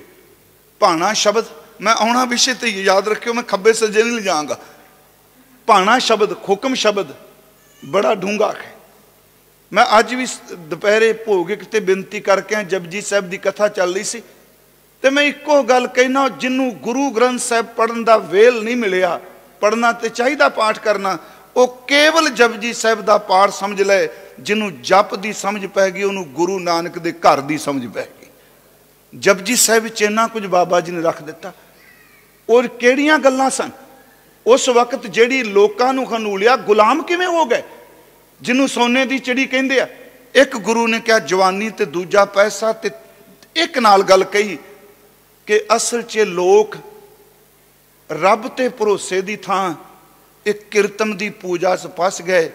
ਇਹਨਾਂ ਨੂੰ ਪੀਰਾਂ ਨੇ, ਯਾਦ ਰੱਖੋ ਜਿਹੜਾ ਪੰਜਾਬ ਵਿੱਚ ਅੱਜ ਕਾਫੀ ਖਿੱਤਾ ਇਸਲਾਮੀਕਰਨ ਹੋ ਰਿਹਾ ਅਸੀਂ ਡਰਦੇ ਨਹੀਂ ਬੋਲਦੇ। ਇਹ ਇਹ ਇੱਕ ਘੁਣਖ ਹੈ, ਇਸਲਾਮੀਕਰਨ ਹੈ। ਨੌਜਵਾਨ ਮੁੰਡੇ ਕਿਸੇ ਨੇ ਖਰਾ ਪਰਨਾ ਲਿਆ, ਮੈਂ ਕਿਸੇ ਲਈ ਦਵੈਸ਼ ਨਹੀਂ ਕਹਿ ਰਿਹਾ। ਕੋਈ ਮਸਤ ਬਣਿਆ ਬੈਠਾ, ਕੋਈ دیਵਾਨਾ ਬਣਿਆ ਬੈਠਾ ਤੇ ਨਾਚ ਕਰਾ ਰਹੇ ਨੇ ਬੀਬੀਆਂ ਦਾ। ਚੇਤੇ ਰੱਖਿਓ, ਗੁਰੂ ਨਾਨਕ ਦੇ ਘਰ ਦੇ ਮਸਤ ਦੇ دیਵਾਨੇ ਬੀਬੀਆਂ ਦੇ ਨਾਚ ਨਹੀਂ ਕਰਾਉਂਦੇ, ਉਹਦੀ دیਵਾਨਗੀ ਦੇ ਅਰਥ ਵੀ ਬੜੇ ਹੋਰ ਆ। ਤਉ دیਵਾਨਾ ਜਾਣੀਏ ਜਾਂ ਭੈ دیਵਾਨਾ ਹੋਏ। ਇੱਕ ਹੀ ਸਾਹਿਬ ਬਾਰਾ ਦੂਜਾ ਅਵਰ ਨਾ ਜਾਣੈ ਕੋਈ ਤਉ دیਵਾਨਾ ਜਾਣੀਐ ਜਾਂ ਏਕਾਕਾਰ ਕਮਾਏ, ਹੁਕਮ ਪਛਾਣੈ ਖਸਮ ਕਾ ਦੂਜੀ ਅਵਰ ਸਿਆਣ ਪਕਾਏ। ਤਉ دیਵਾਨਾ ਜਾਣੀਏ ਜਾਂ ਸਾਹਿਬ ਧਰੇ ਪਿਆਰ, ਮੰਦਾ ਜਾਣੈ ਆਪ ਕੋ ਅਵਰ ਭਲਾ ਸੰਸਾਰ। ਮੈਂ ਲਫ਼ਜ਼ ਜਿਹੜੇ ਆਪ ਨੂੰ ਕਹਿਣਗਾ ਲੱਗਾ ਉੱਥੇ ਹੋਇਆ ਕੀ? ਜਦੋਂ ਬਾਬਰ ਨੇ ਹਮਲਾ ਕੀਤਾ ਸਿੱਧੀ ਗੱਲ ਜੀ, ਇਹਨਾਂ ਕੋਲ ਹਾਥੀ ਸਨ। ਅਗਲਾ ਘੋੜਿਆਂ ਤੇ ਚੜ ਕੇ ਆਇਆ। ਕਿਉਂ ਬਾਬਾ ਜੀ ਨੇ ਕਿਹਾ ਘੋੜੇ ਤੇ ਚੜੇ ਇਹ ਥੋੜਾ ਕਿਹਾ ਸਿੱਖ ਹਾਥੀ ਤੇ ਚੜੇ ਪ੍ਰਸਾਦੀ ਹਾਥੀ ਖੇ। ਪਰ ਗੁਰੂ ਕਹਿੰਦਾ, ਖਾਲਸਾ ਸੋ ਜੋ ਚੜਾ ਤੁਰੰਗ। ਉਸ ਵਕਤ ਦੀ ਤਿਆਰੀ ਘੋੜਾ ਸੀ। ਕਿਉਂਕਿ ਹਾਥੀ ਉਹਨਾਂ ਨਹੀਂ ਦੌੜ ਸਕਦਾ ਜਿੰਨਾ ਘੋੜਾ ਦੌੜ ਸਕਦਾ ਮੇਰੇ ਸਤਿਗੁਰੂ ਨੀਲੇ ਦਾ ਸ਼ਾਹ ਸਵਾਰਕ ਹੈ ਉਹ ਗੱਜ ਦਾ ਆਸਨ ਨਹੀਂ ਕੀਤਾ ਉਹਨੇ। ਸਤਿਗੁਰੂ ਨੇ ਉਸ ਵਕਤ ਕੀ ਹੋਇਆ? ਇਹਨਾਂ ਲੋਕਾਂ ਦੀ ਤਿਆਰੀ ਕੋਈ ਨਹੀਂ। ਇਹਨਾਂ ਨੂੰ ਕੀ ਕੀਤਾ? ਪੀਰ ਇਕੱਠੇ ਵਹਿਗੁਰੂ ਗੁਰਮੁਖੋ, ਤੁਸੀਂ ਇਹ ਨਾ ਸਮਝੋ, ਮੈਂ ਨਿੰਦਿਆ ਕਰ ਰਿਹਾ, ਮੈਂ ਸਪਸ਼ਟੀਕਰਨ ਨਹੀਂ ਦੇ ਰਿਹਾ। ਉਸ ਵਕਤ ਤਵੀਤ ਧਾਗੇ ਵਾਲਿਆਂ ਨੇ ਇਕੱਠੇ ਹੋ ਕੇ ਰੁਪਈਏ ਦਾ ਜ਼ੋਰ ਸੀ ਪਕੰਡ ਝੂਠ ਰੱਜ ਕੇ ਸੀ। ਸਭ ਨੇ ਕਿਹਾ, ਜੀ, ਤੁਸੀਂ ਘਬਰਾਓ ਨਾ, ਅਸੀਂ ਇਹੋ ਜਿਹਾ ਮੰਤਰ ਮਾਰਾਂਗੇ, ਬਾਬਰ ਦੇ ਸਿਪਾਹੀ ਸਾਰੇ ਅੰਨੇ ਹੋ ਜਾਏ ਅਮਨਾਬਾਦ ਚ ਵਾੜੀ ਨਹੀਂ ਸਕਦੇ। ਤੇ ਬਾਬਾ ਜੀ ਨੇ ਬਾਣੀ ਚ ਕੋਟ ਕੀਤੀ ਇਹ ਗੱਲ। ਉਹਨਾਂ ਕਹੇ ਵੀ ਸਾਰੇ ਅੰਨੇ ਹੋ ਜਾਣਗੇ। ਤੇ ਜਿਵੇਂ ਅੱਜ ਕੱਲ ਚੱਲਦਾ ਜੀ, ਬਹੁਤ ਯਾਦ ਹੈ, ਜਦੋਂ ਸੱਚੀ ਗੱਲ ਜੇ ਮੈਂ ਆਪਣੇ ਸਿੱਖ ਲੀਡਰ ਨੂੰ ਵੇਖਣਾ ਨਾ ਵੀ ਇਹਨੇ ਅਸਮਾਨੀ ਰੰਗ ਦਾ ਪਾਇਆ ਨਗ, ਮੈਂ ਸਮਝਣਾ ਕਿਸੇ ਪੰਡਤ ਕੋਲ ਜ਼ਰੂਰ ਜਾਂਦਾ ਹੋਣਾ। ਇਸ ਤਰ੍ਹਾਂ ਹੀ ਜੀ। ਹੁਕਮ ਤੇ ਭਾਣੇ ਨੂੰ ਸਮਝੀਏ, ਜਿਹਨੂੰ ਗੁਰੂ ਗੋਬਿੰਦ ਸਿੰਘ ਦਾ ਪੰਜ ਘੋਟ ਅੰਮ੍ਰਿਤ ਨਹੀਂ ਚੜ੍ਹਦੀ ਕਲਾ ਦੇ ਸਕਦਾ, ਉਹਨੂੰ ਪੱਥਰ ਦੇ ਨਗੀਨਿਆਂ ਨੇ, ਨਗਾ ਨੇ ਚੜ੍ਹਦੀ ਕਲਾ ਨਹੀਂ ਦੇ ਦੇਣੀ। ਅਗਲੀ ਗੱਲ, ਇੱਕ ਲੌਜੀਕ ਹੈ। ਸਾਨੂੰ ਸਭ ਨੂੰ ਪਤਾ ਹੈ। ਸਵੇਰੇ ਬੈਠੇ ਹੁੰਦੇ ਆ ਟੀਵੀ ਤੇ ਬਹੁਤ, ਹਾਲਾਂਕਿ ਟੀਵੀ ਆਸਥਾ ਦੀ ਗੱਲ ਕਰਨ ਨੂੰ ਤਰਕ ਕਰਦੇ ਆ। ਸਿਮਰਨ ਦੀ ਗੱਲ ਕਰੋ, ਭਜਨ ਬੰਦਗੀ ਦੀ ਕਰੋ, ਕਹਿਣਗੇ ਇਹ ਅੰਧ ਵਿਸ਼ਵਾਸ, ਤੇ ਸਵੇਰੇ ਸਾਰੇ ਅੰਧ ਵਿਸ਼ਵਾਸ ਵਾਲੇ ਬੈਠੇ ਨਗਾਂ ਵਾਲੇ ਬੈਠੇ ਆ, ਤੇ ਤਾਸ਼ ਦੇ ਪੱਤਿਆਂ ਵਾਲੇ ਬੈਠੇ ਕਿਹੜੀ ਗੁਲਾਮੀ ਗੁਰੂ ਨੇ ਕੱਟੀ? ਮੈਂ ਕਿਹਾ ਮਾਨਸਿਕ ਵੀ ਕੱਟੀ, ਉਹਨੇ ਸਰੀਰਕ ਵੀ ਕੱਟੀ, ਉਹਨੇ ਜਈ ਕਈ ਸਦੀਆਂ ਦਾ ਜਿਹੜਾ ਇੱਥੇ ਉਤਲ ਪੁਤਲ ਸੀ, ਉਹ ਵੀ ਕੱਟ ਕੇ ਰੱਖ ਦਿੱਤੀ। ਹੁਣ ਸਾਰੇ ਕਹਿੰਦੇ ਆ ਵੀ ਸਵੇਰੇ ਆ ਕੱਪੜੇ ਪਾਇਓ, ਅੱਜ ਤੈਨੂੰ ਆ ਤਾਂ ਇਹ ਮਿਲਣਾ ਨਾ। ਮੈਨੂੰ ਤੁਸੀਂ ਸੱਚੀ ਦੱਸੋ, ਜਿਸ ਦਿਨ ਹਿੰਦੁਸਤਾਨ ਦੀ ਸਰਕਾਰ ਨੇ ਨੋਟਬੰਦੀ ਕੀਤੀ, ਜੋਤਸ਼ੀ ਉਧਰ ਵੀ ਬੈਠੇ ਸਨ ਸਵੇਰੇ। ਉਧਰ ਵੀ ਕਹਿੰਦੇ ਸਨ ਵੀ ਆਹ ਮਿਲਣਾ ਤੁਹਾਨੂੰ। ਕਿਸੇ ਨੇ ਕਿਹਾ, ਜੋ ਕੁਝ ਹੈ ਲਕਾ ਲੋ ਲੋਕੋ ਰਾਤ ਨੂੰ ਸਾਰੇ ਕਾਗਜ਼ ਬਣ ਜਾਣੇ। ਜੇ ਸੱਚ ਹੁੰਦਾ ਗੱਲ ਹੁੰਦੀ ਨਾ, ਗੁਰੂ ਨੇ ਕਿਹਾ, ਕੋਟੀ ਕੋ ਪੀਰ ਵਰਜ ਰਹਾਏ, ਜਾਂ ਮੀਰ ਸੁਣਿਆ ਤਾਇਆ ਜਦੋਂ ਪਤਾ ਲੱਗਾ ਮੀਰ ਮੀਰ ਦੇ ਲਫ਼ਜ਼ੀ ਅਰਥ ਬਾਦਸ਼ਾਹ ਬਾਬਰ। ਜਾਂ ਮੀਰ ਸੁਣਿਆ ਤਾਇਆ ਥਾਨ ਮੁਕਾਮ ਜਲੇ ਬਿਜ ਮੰਦਰ, ਮੁੱਛ ਮੁੱਛ ਕੋਇਰ ਰੁਲਾਇਆ, ਕੋਈ ਮੁਗਲ ਨਾ ਹੋਵਾ ਅੰਦਾ ਕਿਨਾ ਨਾ ਪਰਚਾ ਲਾਇਆ। ਮੁਗਲ ਪਠਾਣਾ ਭਈ ਲੜਾਈ, ਰਣ ਮੈਂ ਤੇਗ ਵਗਾਈ। ਪਿਆਰਿਓ, ਨਵੀਆਂ ਸ਼ਸਤਰ ਲੈ ਕੇ ਆਏ। ਰਣ ਮੈਂ ਤੇਗ ਵਗਾਈ ਉਹਨੀ ਤੁਬਕਤਾਨ ਚਲਾਈ ਇੰਨੀ ਹਸਤ ਚੜਾਈ। ਇਹਨਾਂ ਦੀਆਂ ਬੰਦੂਕਾਂ ਜਿਵੇਂ ਪਟਾਕੇ ਨੇ, ਇਸ ਤਰ੍ਹਾਂ ਹੱਥਾਂ ਹੀ ਨਿਕਲ ਗਈਆਂ। ਉਹਨੀ ਦੇ ਫਿਰ ਸੁਣਿਓ ਉਹਨੀ ਤੁਬਕਤਾਨ ਚਲਾਈ ਉਹਨੀ ਖਸਤ ਚੜਾਈ। ਤੇ ਮਹਾਰਾਜ ਕਹਿੰਦੇ, ਜਿਨ ਕੀ ਚੀਰੀ ਦਰਗਹਿ ਪਾਟੀ ਤਿੰਨਾ ਮਰਨਾ। ਭਾਈ, ਮੈਂ ਬੇਨਤੀ ਕਰਾਂਗਾ, ਗੁਰੂ ਸਾਹਿਬ ਨੇ ਹਰ ਪੱਖ ਤੋਂ, ਯਾਦ ਰੱਖੋ, ਉਹ ਬਾਦਸ਼ਾਹ ਕੋਲ ਗਏ, ਉਹ ਸਾਰੀਆਂ ਥਾਵਾਂ ਤੇ ਹਜ਼ੂਰ ਗਏ। ਇਸ ਸਤਿਗੁਰੂ ਨੇ ਇੱਕ ਕਿਰਪਾ ਹੋਰ ਕੀਤੀ। ਇਹ ਵੀ ਹਿੰਦੁਸਤਾਨ ਵਿੱਚ ਬੜੀ ਵੱਡੀ ਨਵੀਂ ਗੱਲ ਹੈ ਕਿ ਆਮ ਤੌਰ ਤੇ ਕਿਹਾ ਜਾਂਦਾ ਹੈ ਕਿ ਸੱਚ ਮੇਰੇ ਤੋਂ ਸ਼ੁਰੂ ਹੁੰਦਾ ਹੈ ਤੇ ਸਾਡੇ ਘਰ 'ਚ ਹੀ ਮੁੱਕ ਜਾਂਦਾ ਇਹ ਕਿਹਾ ਜਾਂਦਾ ਨਾ, ਇਹ ਧਰਮ ਕਹਿੰਦੇ ਆ ਜੀ ਸਾਰੇ। ਸਾਡੇ ਤੋਂ ਸ਼ੁਰੂ ਹੁੰਦਾ, ਸਾਡੇ ਤੋਂ ਮੁੱਕਦਾ ਗੁਰੂ ਨੇ ਸਭ ਤੋਂ ਪਹਿਲਾ ਸ਼ਬਦ ਵਰਤਿਆ, ਆਦ ਸੱਚ। ਉਹ ਸੱਚ ਉਦੋਂ ਵੀ ਸੀ, ਜਦੋਂ ਕੁਝ ਵੀ ਨਹੀਂ ਸੀ ਬਣਿਆ। 1469 ਨਹੀਂ ਕਿਹਾ ਵੀ ਉਦੋਂ ਸ਼ੁਰੂ ਹੋਇਆ।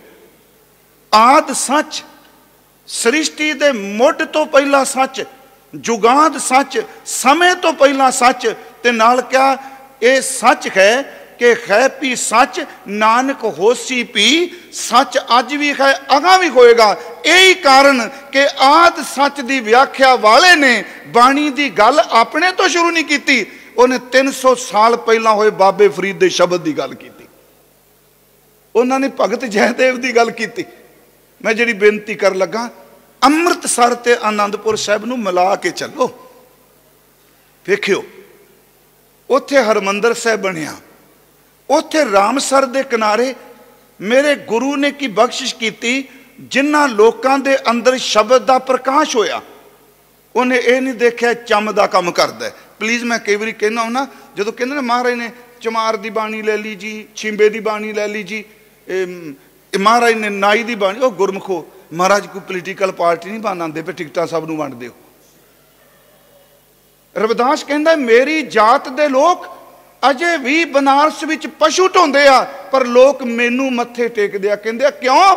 ਕਿਉਂਕਿ ਮੇਰੇ ਅੰਦਰ ਨਾਮ ਦਾ ਪ੍ਰਕਾਸ਼ ਹੋ ਚੁੱਕਾ ਹੈ।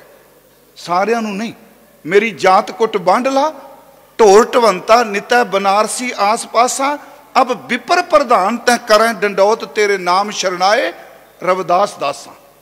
ਭਗਤ ਜੈ ਦੇਵ ਜੀ, ਭਗਤ ਨਾਮਦੇਵ ਜੀ, ਭਗਤ ਰਵਿਦਾਸ ਜੀ, ਭਗਤ ਕਬੀਰ ਜੀ ਮਹਾਰਾਜ ਮੈਂ ਆਪ ਨੂੰ ਬੇਨਤੀ ਕਰਾਂ, ਸਭ ਤੋਂ ਪਹਿਲਾਂ ਗੁਲਾਮੀ ਇਹ ਤੋੜੀ ਕਿ ਰੂਹਾਨੀਅਤ ਨੂੰ ਕਿਸੇ ਇੱਕ ਕਮਿਊਨਿਟੀ ਨਾਲ ਨਹੀਂ ਬੰਨਿਆ ਜਾ ਸਕਦਾ, ਇੱਕ ਸ਼ਬਦਾਵਲੀ ਵਿੱਚ ਨਹੀਂ ਬੰਨਿਆ ਜਾ ਸਕਦਾ। ਮੇਰੇ ਗੁਰੂ ਨਾਨਕ ਦੀ ਜੋਤ ਨੇ ਇਹਨਾਂ ਸਾਰੇ ਮਹਾਪੁਰਸ਼ਾਂ ਦੀ ਬਾਣੀ ਇੱਕ ਥਾਂ ਇਕੱਠੀ ਕਰਕੇ ਉਹਨੂੰ ਗੁਰੂ ਗ੍ਰੰਥ ਸਾਹਿਬ ਕਹਿ ਦਿੱਤਾ। ਲਓ ਫਿਰ ਧਿਆਨ ਨਾਲ ਸੁਣਿਓ। ਉਹਦੇ ਚ ਸ਼ਬਦ ਸਾਰਿਆਂ ਦੇ, ਉਹ ਐਡੀ ਖੂਬਸੂਰਤੀ ਹੈ ਗੁਰੂ ਗ੍ਰੰਥ ਸਾਹਿਬ ਚ।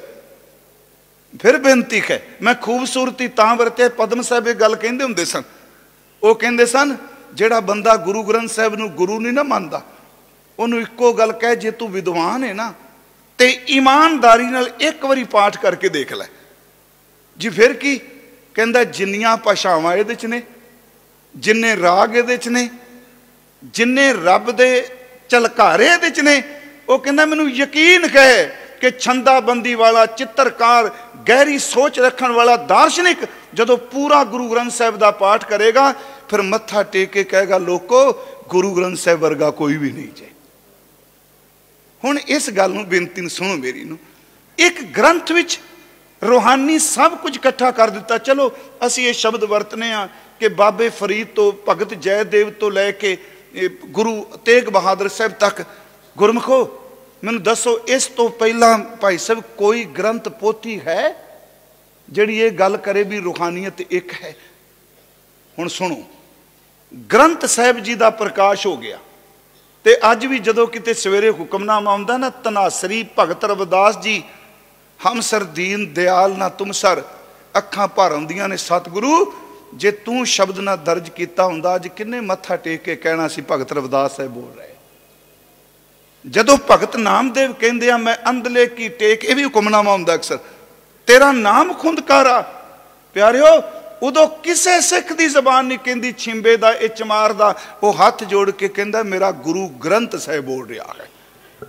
ਨਾਨਕ ਗ੍ਰੰਥ ਨਹੀਂ, ਗੁਰੂ ਗ੍ਰੰਥ। ਹੁਣ ਇਸ ਧਰਤੀ ਤੇ ਕੀ ਕਿਰਪਾ ਕੀਤੀ ਜੀ?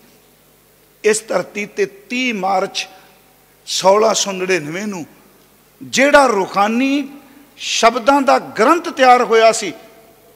ਹੁਣ ਗ੍ਰੰਥ ਜਿਹੜਾ ਹੈ, ਉਹਦੇ ਲਈ ਹਜ਼ੂਰ ਨੇ ਉਹਦੀ ਸਦੀਵਤਾ ਲਈ, ਇਹ ਯਾਦ ਰੱਖਿਓ, ਗ੍ਰੰਥ ਤਾਂ ਚੱਲਦਾ ਜੇ ਪੰਥ ਹੋਵੇਗਾ ਤੇ ਪੰਥ ਤਾਂ ਚੱਲਦਾ ਜੇ ਗ੍ਰੰਥ ਹੋਵੇਗਾ ਤਾਂ। ਦੋਨੋਂ ਇਕੱਠੇ ਨੇ ਨਾ? ਇਹ ਦੋਨੋਂ ਇਕੱਠੇ ਨੇ ਨਾ ਸਮਝਿਓ, ਬੇਅਦਬੀ ਦੇ ਸ਼ਬਦ ਨਹੀਂ। ਠਾਕੁਰ ਤੇ ਸੇਵਕ, ਠਾਕੁਰ ਤੇ ਸੇਵਕ ਤੇ ਸੇਵਕ ਤੋਂ ਠਾਕੁਰ ਦਾ ਪਤਾ ਲੱਗਦਾ। ਫਿਰ ਬੇਨਤੀ, ਜੇ ਗੁਰੂ ਹੈ ਤੇ ਚੇਲੇ ਤੋਂ ਬਿਨਾ ਗੁਰੂ ਦੀ ਕੀ? ਕੁੰਬੇ ਬੱਦਾ ਜਲ ਰਹੇ, ਜਲ ਬਿਨ ਕੁੰਭ ਨਾ ਹੋਏ। ਪਾਣੀ ਘੜਾ ਸਮੋ ਕੇ ਰੱਖਦਾ ਹੈ, ਪਰ ਘੜਾ ਪਾਣੀ ਤੋਂ ਬਿਨਾ ਬਣ ਜੂਗਾ। ਠਾਕੁਰ ਤੇ ਜਨ ਜਨ ਤੇ ਠਾਕੁਰ ਖੇਲ ਪਰਿਓ ਹੈ ਤੋਸਿਓ। ਠਾਕੁਰ ਤੋਂ ਪਤਾ ਲੱਗਦਾ ਸੇਵਕਾਂ ਦਾ ਤੇ ਸੇਵਕਾਂ ਤੋਂ ਪਤਾ ਲੱਗਦਾ ਇਹਦਾ ਮੁਰਸ਼ਿਦ ਕੀ ਹੋ ਜਾ ਮੈਂ ਬੇਨਤੀ ਕਰਾਂ ਹਜ਼ੂਰ ਨੇ ਇਸ ਧਰਤੀ ਤੇ ਬਖਸ਼ਿਸ਼ ਕੀਤੀ। ਮੇਰੇ ਧੰਨ ਗੁਰੂ ਗੋਬਿੰਦ ਸਿੰਘ ਮਹਾਰਾਜ ਜੀ ਨੇ 80000 ਦਾ ਇਕੱਠ। ਚਲੋ ਜੋ ਸਾਡੀਆਂ ਰਵਾਇਤਾਂ ਕਹਿੰਦੀਆਂ ਨੇ। ਤੇ ਮੈਂ ਪਿਛਲੇ ਦਿਨੀ ਕਿਹਾ, ਜਦੋਂ ਮਾਰੇ ਨੇ ਤਾੜੀ ਮਾਰੀ ਹੋਵੇਗੀ, ਕਿੰਨੇ ਕਿੰਨੇ ਕੋ ਤੱਕ ਆਵਾਜ਼ ਗਈ ਹੋਵੇਗੀ। ਲਾਊਡ ਸਪੀਕਰ ਤੇ ਕੋਈ ਨਹੀਂ ਲੱਗਾ ਨਾ ਕੇਸਗੜ ਜਿੱਦਨ ਮਾਰੇ ਨੇ ਆਵਾਜ਼ ਦਿੱਤੀ। ਮੈਂ ਹੁਣ ਬੋਲਾਂ, ਮੇਰੀ ਆਵਾਜ਼ ਇੱਥੋਂ ਬਾਹਰ ਨਹੀਂ ਜਾਣੀ। ਜਦੋਂ ਗੁਰੂ ਗੋਬਿੰਦ ਸਿੰਘ ਬੱਬਰ ਸ਼ੇਰ ਦੀ ਤਰ੍ਹਾਂ ਜਲਾਲੀ ਰੂਪ ਚ ਗਰਜਿਆ, ਜਿਹੜਾ ਤੁਸੀਂ ਲਿਖਿਆ ਦਸ਼ਮੇਸ਼ ਪਿਤਾ ਜੀ ਜੀਵਨ ਚ ਕਪੂਰ ਸਿੰਘ ਦਾ ਸ਼ਬਦ ਮੈਂ ਇੱਕ ਵਾਰੀ ਇੱਥੇ ਕੋਟ ਕੀਤਾ ਸੀ। ਸਰਦਾਰ ਕਪੂਰ ਸਿੰਘ ਕਹਿੰਦਾ, ਲੋਕੋ, ਤੁਸੀਂ ਕਹਿੰਦੇ ਹੋ ਗੁਰੂ ਗੋਬਿੰਦ ਸਿੰਘ ਦੇ ਜਲਾਲ ਦਾ ਜ਼ਿਕਰ ਕਰੋ। ਤੁਸੀਂ ਕੈਮਰਾ ਪਕੜਾ ਕੇ ਕਹੋ, ਸੂਰਜ ਦੇ ਕੋਲ ਜਾ ਕੇ ਫੋਟੋ ਖਿੱਚ। ਨਾ ਕੈਮਰਾ ਰਹਿਣਾ, ਨਾ ਖਿੱਚਣ ਵਾਲੇ ਨੇ ਰਹਿਣਾ ਗੁਰੂ ਗੋਬਿੰਦ ਸਿੰਘ ਦਾ ਜਲਾਲ ਇਤਨਾ ਹੈ। ਜਦੋਂ ਗੁਰੂ ਗੋਬਿੰਦ ਸਿੰਘ ਕਲਗੀ ਵਾਲੇ ਬੋਲੇ ਆ ਕੋਈ ਹੈ ਸਿੱਖ ਦਾ ਬੇਟਾ ਜੋ ਸੀਸ ਕਰੇ ਬੇਟਾ 80000 ਬੰਦਿਆਂ ਦੇ ਕੰਨ ਤੱਕ ਆਵਾਜ਼ ਗਈ, ਗੁਰੂ ਗੋਬਿੰਦ ਸਿੰਘ ਦੀ ਗਰਜ ਕਿੰਨੀ ਵੱਡੀ ਹੈ। ਮਹਾਰਾਜ ਨੂੰ ਫਿਰ ਸੀਸ ਭੇਟ ਕੀਤੇ ਗਏ। ਸੀਸ ਦਿੱਤੇ ਸਿੱਖਾਂ ਨੇ।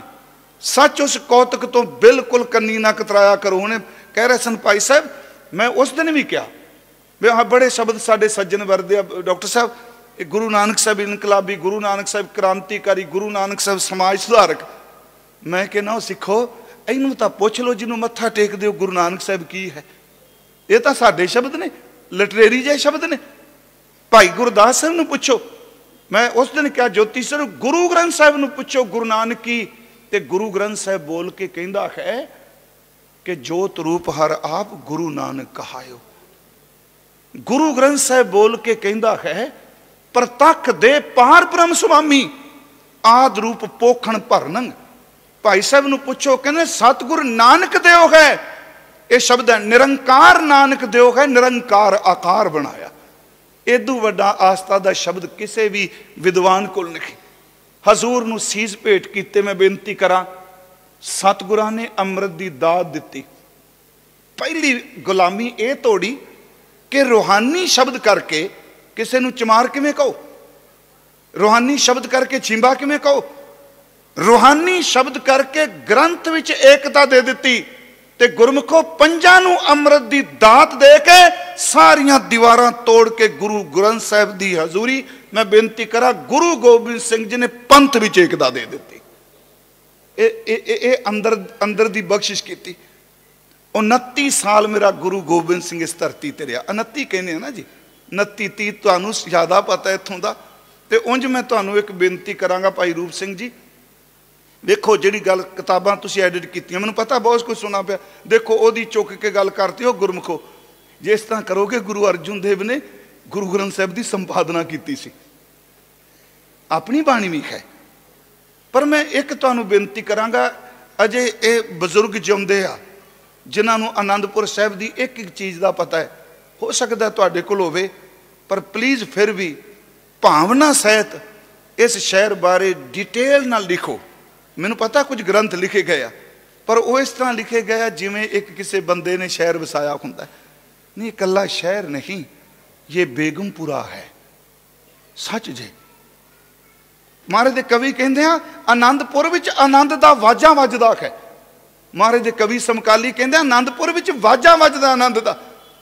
ਇਹ ਸ਼ਹਿਰ ਕੇਵਲ ਦੁਨਿਆਵੀ ਨਹੀਂ ਜਿੱਥੇ ਜਿੱਥੇ ਮੇਰੇ ਗੁਰੂ ਦੇ ਚਰਨ ਪੈ ਗਏ, ਸੱਚੇ ਜੇ ਹਰ ਸ਼ਹਿਰ ਜਿਹੜਾ ਗੁਰੂ ਨਾਨਕ ਦੀ ਰੁਖਾਨੀਅਤ ਨਾਲ ਭਰਪੂਰ ਹੋ ਗਿਆ ਹੈ।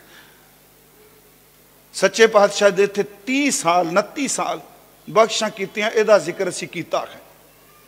ਹੁਣ ਮੈਂ ਅਗਲੀ ਬੇਨਤੀ, ਜਿਹੜੇ ਸ਼ਬਦ ਕਹਿ ਮਹਿਸੂਸ ਕਰਨਾ, ਜਿਹੜੇ ਸ਼ਬਦ ਤੁਸੀਂ ਮਹਿਸੂਸ ਕਹਿ ਬੜੇ ਡੂੰਘੇ ਜੇ, ਹਰ ਇੱਕ ਨੂੰ ਮਹਿਸੂਸ ਨਹੀਂ ਹੁੰਦੇ। ਧਰਮ ਤਾਂ ਹੈ ਹੀ ਮਹਿਸੂਸ ਕਰਨਾ ਧਰਮ ਦਾ, ਅਕਲ ਨਾਲ ਇਹਨਾਂ ਵਾਸਤਾ ਕੀ? ਸੱਚਮੁੱਚ ਜਿਹੜਾ ਤੁਰ ਅੰਦਰ ਤੋਂ ਮਹਿਸੂਸ ਕਰਦਾ ਹੈ, ਉਹਦੀਆਂ ਅੱਖਾਂ ਛਲਕ ਕੇ ਬਾਹਰ ਆ ਜਾਂਦੀਆਂ ਨੇ, ਜਿਹੜਾ ਮਹਿਸੂਸ ਨਹੀਂ ਕਰਦਾ, ਉਹਦੀਆਂ ਅੱਖਾਂ ਤੇ ਸੀਨਾ ਸੁੱਕਾ ਹੀ ਰਹਿ ਜਾਂਦਾ ਹੈ। ਗੁਰੂ ਗ੍ਰੰਥ ਸਾਹਿਬ ਨੇ ਮਹਿਸੂਸ, ਮੈਂ ਜਦੋਂ ਤੁਸੀਂ ਬੋਲੇ, ਮੈਨੂੰ ਉਸੇ ਟਾਈਮ ਮੇਰੀ ਸੁਰਤ ਗਈ। ਗੁਰੂ ਗ੍ਰੰਥ ਸਾਹਿਬ ਕਹਿੰਦਾ, ਸੋਕਤ ਜਾਣੈ ਪੀਰ ਪਰਾਹੀ। ਇਹਨੂੰ ਅਹਿਸਾਸ ਨਹੀਂ, ਨਾ ਇਹਨੂੰ ਪੀੜ ਨਹੀਂ।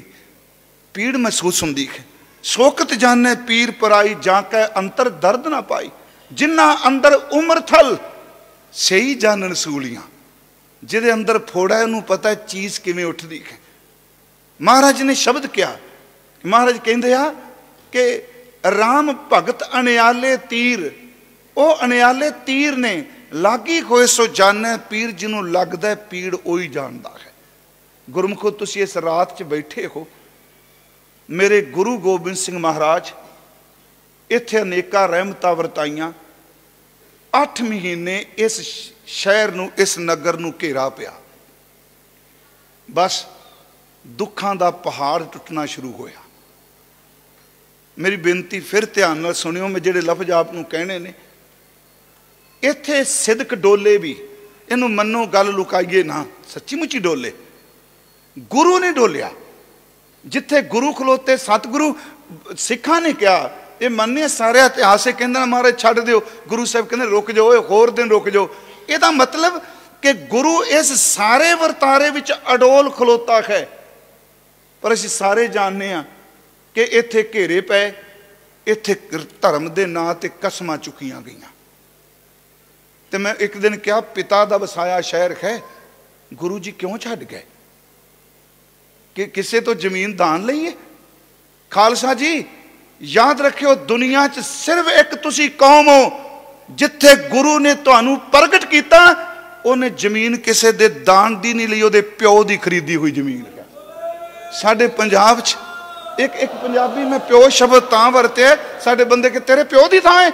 ਮੈਂ ਜਦੋਂ ਆਨੰਦਪੁਰ ਵੇਨਾ ਮੈਂ ਕਹਿੰਦਾ, ਮੇਰੇ ਮੇਰੇ ਪਿਓ ਦੇ ਪਿਓ ਦੀ ਥਾਂ ਹੈ।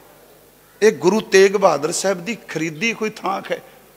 ਉਹਦੀ ਨਿਵਾਜੀ ਕੋਈ ਥਾਂ ਹੈ।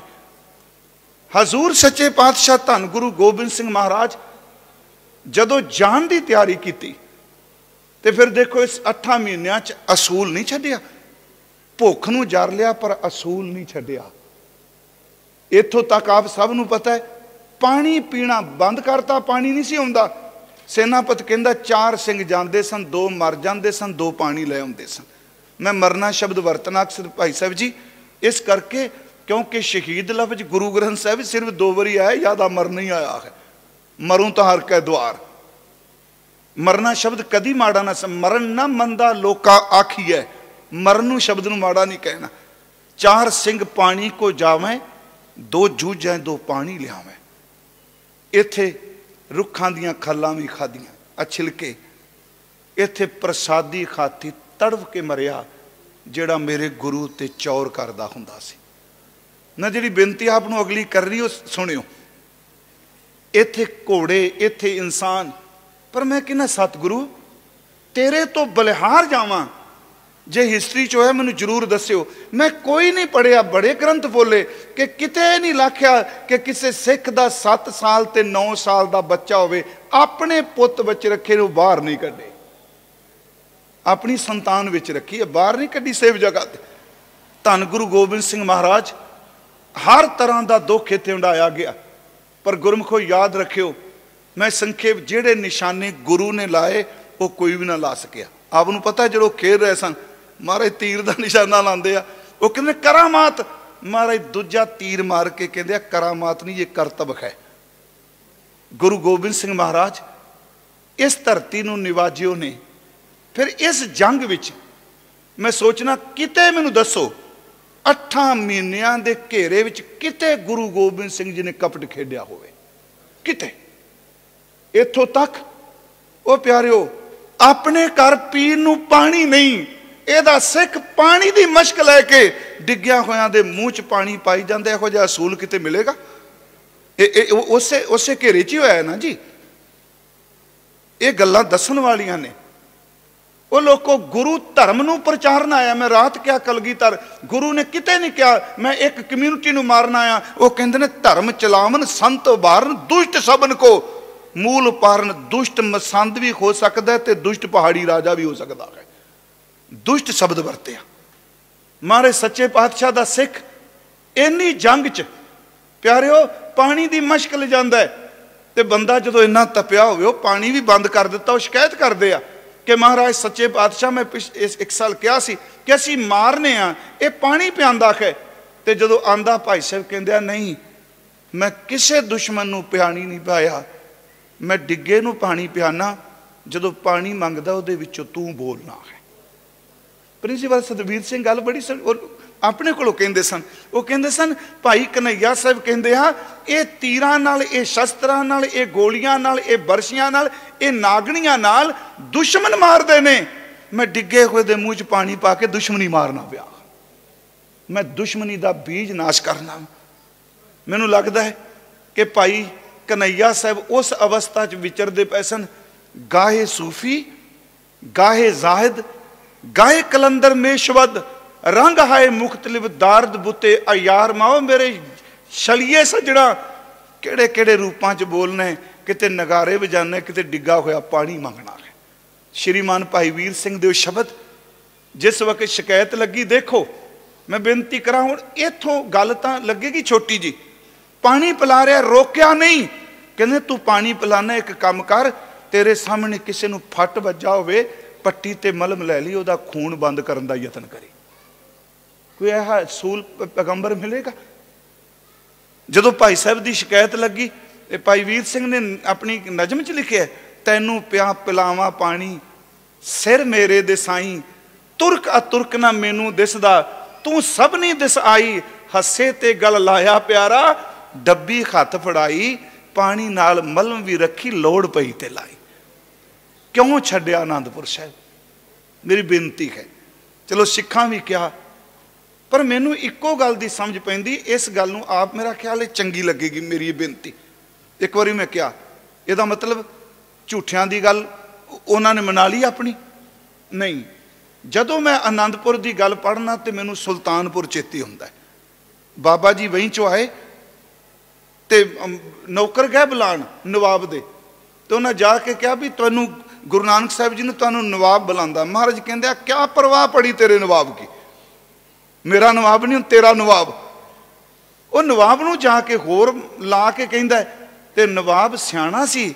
ਉਹ ਕਹਿੰਦਾ, ਇਹ ਮਤ ਬੋਲ ਕੇ ਮੈਂ ਬੁਲਾਇਆ ਉਹਨੂੰ ਕਹੇ, ਨਾਨਕ, ਖੁਦਾਏ ਦੇ ਵਾਸਤੇ ਦੀਦਾਰ ਬਖਸ਼। ਉਹ ਗਏ। ਜਨਮ ਸਾਖੀ ਵਾਲਾ ਕਹਿੰਦਾ ਵੀ ਬੰਦਾ ਪਿਛਲ ਪੈਰ ਗਿਆ। ਉਹਨੇ ਜਾ ਕੇ ਕਿਹਾ, ਨਾਨਕ, ਨਵਾਬ ਸਾਹਿਬ ਕਹਿੰਦੇ ਨੇ, ਖੁਦਾਏ ਦੇ ਵਾਸਤੇ ਦੀਦਾਰ ਬਖਸ਼। ਕਹਿੰਦਾ, ਬਾਬਾ ਉੱਠਿਆ। ਕਹਿੰਦਾ, ਖੁਦਾਏ ਦੇ ਵਾਸਤੇ ਤਾਂ ਸਿਰ ਵੀ ਹਾਜ਼ਰ ਹੈ। ਸੁਣੋ ਇਸ ਗੱਲ ਨੂੰ, ਇਹ ਬਰੀਕ ਨੁਕਤਾ ਹੈ। ਗੁਰੂ ਸਾਹਿਬ ਆਨੰਦਪੁਰ ਸਾਹਿਬ ਛੱਡਦੇ ਆ। ਯਾਦ ਰੱਖੋ ਸਾਡਾ ਤਿਲਕ ਨਾਲ ਕੀ ਵਾਸਤਾ ਜੀ? ਪਰ ਅਸੀਂ ਹੇਟ ਨਹੀਂ ਕਰਦੇ। ਸਾਡਾ ਜਨੇਊ ਨਾਲ ਕੀ ਵਾਸਤਾ? ਸਾਡਾ ਵਰਤਨਾ ਖਿਮਾ ਕਰਿਓ। ਆਪਣਾ ਧਰਮ ਕੋਈ ਜੀਏ ਸਰਦਾਰ ਕਪੂਰ ਸਿੰਘ ਕਹਿੰਦੇ ਸਨ। ਕਹਿੰਦੇ ਸਨ, ਗੁਰੂ ਤੇਗ ਬਹਾਦਰ ਨੇ ਧਰਮ ਦੀ ਆਜ਼ਾਦੀ ਲਈ, ਧਰਮ ਦੀ ਸੁਤੰਤਰਤਾ ਲਈ, ਧਰਮ ਦੀ ਰੱਖਿਆ ਲਈ ਤੇ ਆਤਮ ਪੁਰਖ ਦੀ ਗੌਰਵਤਾ ਲਈ ਸ਼ਹਾਦਤ ਦਿੱਤੀ ਹੈ। ਹੁਣ ਤਿਲਕ ਜੰਜੂ ਇੱਕ ਵਾਸਤਾ ਹੈ। ਗੁਰੂ ਸਾਹਿਬ, ਕਿੰਨੂੰ ਨਹੀਂ ਜਿੰਦ ਪਿਆਰੀ ਜੀ? ਉਹ ਗੁਰਮਖੋ, ਮੇਰੀ ਬੇਨਤੀ ਸੁਣੋ 9 ਸਾਲ ਦੀ ਉਮਰ 'ਚ ਪਿਤਾ ਜੀ ਚਲੇ ਗਏ ਸਤਗੁਰਾਂ ਦੀ। 5-6 ਸਾਲ ਦੀ ਉਮਰ ਜਦੋਂ ਬਾਪੂ ਪਟਨਾ ਸਾਹਿਬ ਮਿਲਿਆ ਤੇ ਗੁਰੂ ਗੋਬਿੰਦ ਸਿੰਘ ਤੇ ਗੁਰੂ ਤੇਗ ਬਹਾਦਰ ਕਿੰਨਾ ਸਮਾਂ ਇਕੱਠੇ ਰਹੇ। ਸਾਰੇ ਕਹਿੰਦੇ ਆ ਨਾ 2.5 3 ਸਾਲ ਨਹੀਂ, ਕਿਹਦਾ ਦਿਲ ਕਰਦਾ ਓਏ? ਪੁੱਤਰ 35 ਸਾਲ ਬਾਅਦ 32 ਸਾਲ ਬਾਅਦ ਘਰ ਪੁੱਤਰ ਹੋਇਆ, ਇੰਨਾ ਸੋਹਣਾ ਘਰ ਬਣਿਆ ਮੈਂ ਛੱਡ ਕੇ ਚਲਾ ਜਾ। ਤੇ 9 ਸਾਲ ਦਾ ਪੁੱਤਰ ਵੀ ਮੋਹ ਨਹੀਂ ਕਰਦਾ ਪਿਆ। ਉਹ ਵੀ ਕਹਿੰਦਾ, ਬਾਪੂ, ਤੇਰੇ ਤੋਂ ਵੱਡਾ ਕੋਈ ਮਹਾਂਪੁਰਖ ਨਹੀਂ ਇੱਥੇ। ਮਹਾਰਾਜ ਜਾਂਦੇ ਆ। ਕਾਦੇ ਲਈ? ਧਰਮ ਹੇਤ ਸਾਕਾ ਜਿਨ ਕੀਆ। ਫਿਰ ਬੇਨਤੀ ਸੁਣਿਓ। ਜਿਸ ਵਕਤ ਇੱਥੇ ਘੇਰਾ ਪੈ ਗਿਆ ਆਪ ਸਭ ਨੂੰ ਪਤਾ ਵੀ ਗਰਮੀ ਵੀ ਇਹ ਜੇ ਸਿੱਖਾਂ ਦਾ ਹਾਲ ਹੋਇਆ, ਬਾਹਰ ਵੀ ਤਾਂ ਮੰਦਾ ਹਾਲ ਸੀ। ਫਿਰ ਇਹਨਾਂ ਨੇ ਗੁਰੂ ਗੋਬਿੰਦ ਸਿੰਘ ਕੋਲ ਕੁਰਾਨ ਦੀ ਸੌਂ ਚੁੱਕੀ। ਅਸੀਂ ਮੰਨੀਏ ਕਿਉਂਕਿ ਜ਼ਫਰਨਾਮਾ ਕਹਿ ਰਿਹਾ ਗਾਂ ਦਾ ਜ਼ਿਕਰ ਕਰਦੀਆਂ ਨੇ ਗੁਰੂ ਕੀਆਂ ਸਾਖੀਆਂ। ਸੌਂ ਚੁੱਕੀ। ਮੈਂ ਕੱਲ ਇੱਕ ਬੇਨਤੀ ਕੀਤੀ, ਗਿਆਨੀ ਗੁਰਬਖਸ਼ ਸਿੰਘ ਗੁਲਸ਼ਨ ਉਹਨਾਂ ਜਦੋਂ ਜ਼ਫਰਨਾਮੇ ਦਾ ਟੀਕਾ ਕੀਤਾ ਹੈ ਨਾ, ਉਹਦੇ ਵਿੱਚ ਉਹਨਾਂ ਨੇ ਲਿਖਿਆ ਮਿਲੇ ਆਪਾਂ ਜ਼ਰੂਰ ਪੁੱਛਾਂਗੇ। ਉਹ ਕਹਿੰਦੇ ਨੇ ਰਿਚਮੈਂਡ ਹਿਲ ਮੈਂ ਕਥਾ ਕਰ ਰਿਹਾ ਸੀ ਮਨੋਰ ਸਿੰਘ ਮਾਰਕੋ, ਬੜੇ ਵੱਡੇ ਵਿਦਵਾਨ ਸਨ ਸੀ ਸਾਡੇ। ਉਹ ਇੰਨੇ ਸਿਆਣੇ ਸਨ ਵੀ ਗੁਰੂ ਗ੍ਰੰਥ ਸਾਹਿਬ ਦਾ ਸਵਰੂਪ ਪ੍ਰਾਤਨ ਤੋਂ ਪ੍ਰਾਤਨ ਲਿਓ ਉਹ ਸ਼ਾਹੀ ਤੇ ਕਲਮ ਨੂੰ ਦੇਖ ਕੇ ਦੱਸ ਦਿੰਦੇ ਸਨ ਇਹ ਕਿਹੜੇ ਸਮਤ ਵਿੱਚ ਲਿਖਿਆ ਹੋਵੇਗਾ। ਇਹ ਕਈ ਸੈਂਕੜੇ ਕਾਰੋਬਾਰੀ ਸਿੱਖ ਸਨ, ਸਾਡੀ ਤਰ੍ਹਾਂ ਕਥਾ ਨਹੀਂ ਸਨ ਕਰਦੇ। ਬੋਲ ਬੁਲਾਰੇ ਸਨ। ਉਹ ਕਹਿੰਦੇ ਨੇ, ਗਿਆਨੀ ਗਲ ਗੁਰਖਸ਼ਨ ਗਲਸ਼ਨ ਕਹਿੰਦੇ ਆ, ਮੈਨੂੰ ਮਿਲੇ ਤੇ ਮੈਨੂੰ ਕਹਿੰਦੇ ਆ ਕਿ ਤੁਸੀਂ ਉਹ ਕੁਰਾਨ ਦੇਖੀ ਜਿਹਦੇ ਤੇ ਚਿੱਠੀ ਲਿਖ ਕੇ ਸੌ ਚੁੱਕੀ ਸੀ? ਕਹਿੰਦੇ, ਮੈਂ ਦੇਖੀ। ਮਨੋਰ ਸਿੰਘ ਮਾਰਕੋ ਕਹਿੰਦਾ, ਮੈਂ ਦੇਖੀ ਹੈ। ਮੈਂ ਉਹ ਪੁੱਛਣਾ ਜ਼ਰੂਰ, ਇਹਦਾ ਮਤਲਬ ਜੇ ਬੰਦਾ ਲਿਖ ਰਿਹਾ ਗਲਤ ਗੱਲ ਨਹੀਂ। ਉਹ ਕਹਿੰਦਾ, ਮੈਂ ਮੁਸਲਮਾਨ ਤੋਂ ਦੇਖੀ ਬਕਾਇਦਾ ਕਸਮ ਚੁੱਕੀ ਗਈ ਹੈ। ਲਿਖਿਓ। ਤੇ ਕਹਿੰਦੇ ਮੈਂ ਉਸ ਕੋਲ ਲੈਣ ਗਿਆ, ਪੈਸੇ ਜਿੰਨੇ ਮੰਗੇ ਉਹ ਮੁੱਕਰ ਗਿਆ। ਯਾਦ ਰੱਖਿਓ, ਇੱਥੇ ਤਿਲਕ ਜੀ, ਜੰਨੂ ਜੀ ਖਾਤਰ ਬਾਪੂ ਚਲਾ ਜਾਂਦਾ ਹੈ। ਤੇ ਗੁਰੂ ਗੋਬਿੰਦ ਸਿੰਘ ਇੱਥੇ ਨਵੀਂ ਗੱਲ ਸਾਨੂੰ ਸਿਖਾਉਂਦੇ ਪਏ ਆ। ਜੇ ਤਿਲਕ ਜੰਨੂ ਵਾਲਾ ਵਾਸਤਾ ਪਾਉਂਦਾ ਤੇ ਪਿਤਾ ਨੂੰ ਤੋਰਦਾ ਹੈ ਜੇ ਕੁਰਾਨ ਪੜਨ ਵਾਲਾ ਖੁਦਾ ਦਾ ਵਾਸਤਾ ਪਾਉਂਦਾ ਗੁਰੂ ਆਨੰਦਪੁਰ ਛੱਡਣ ਨੂੰ ਤਿਆਰ ਹੋ ਜਾਂਦਾ। ਹੈ ਇਹਨੂੰ ਧਰਮ ਨਾਲ ਜੋੜ ਕੇ ਅਰਥ ਕਰੀਏ। ਮਹਾਰਾਜ ਕਹਿੰਦੇ ਆ, ਬਾ ਮੁਸਮ ਕਸਮ ਖੁਫੀਏ ਕਰ ਖੁਰਦ ਮੇ।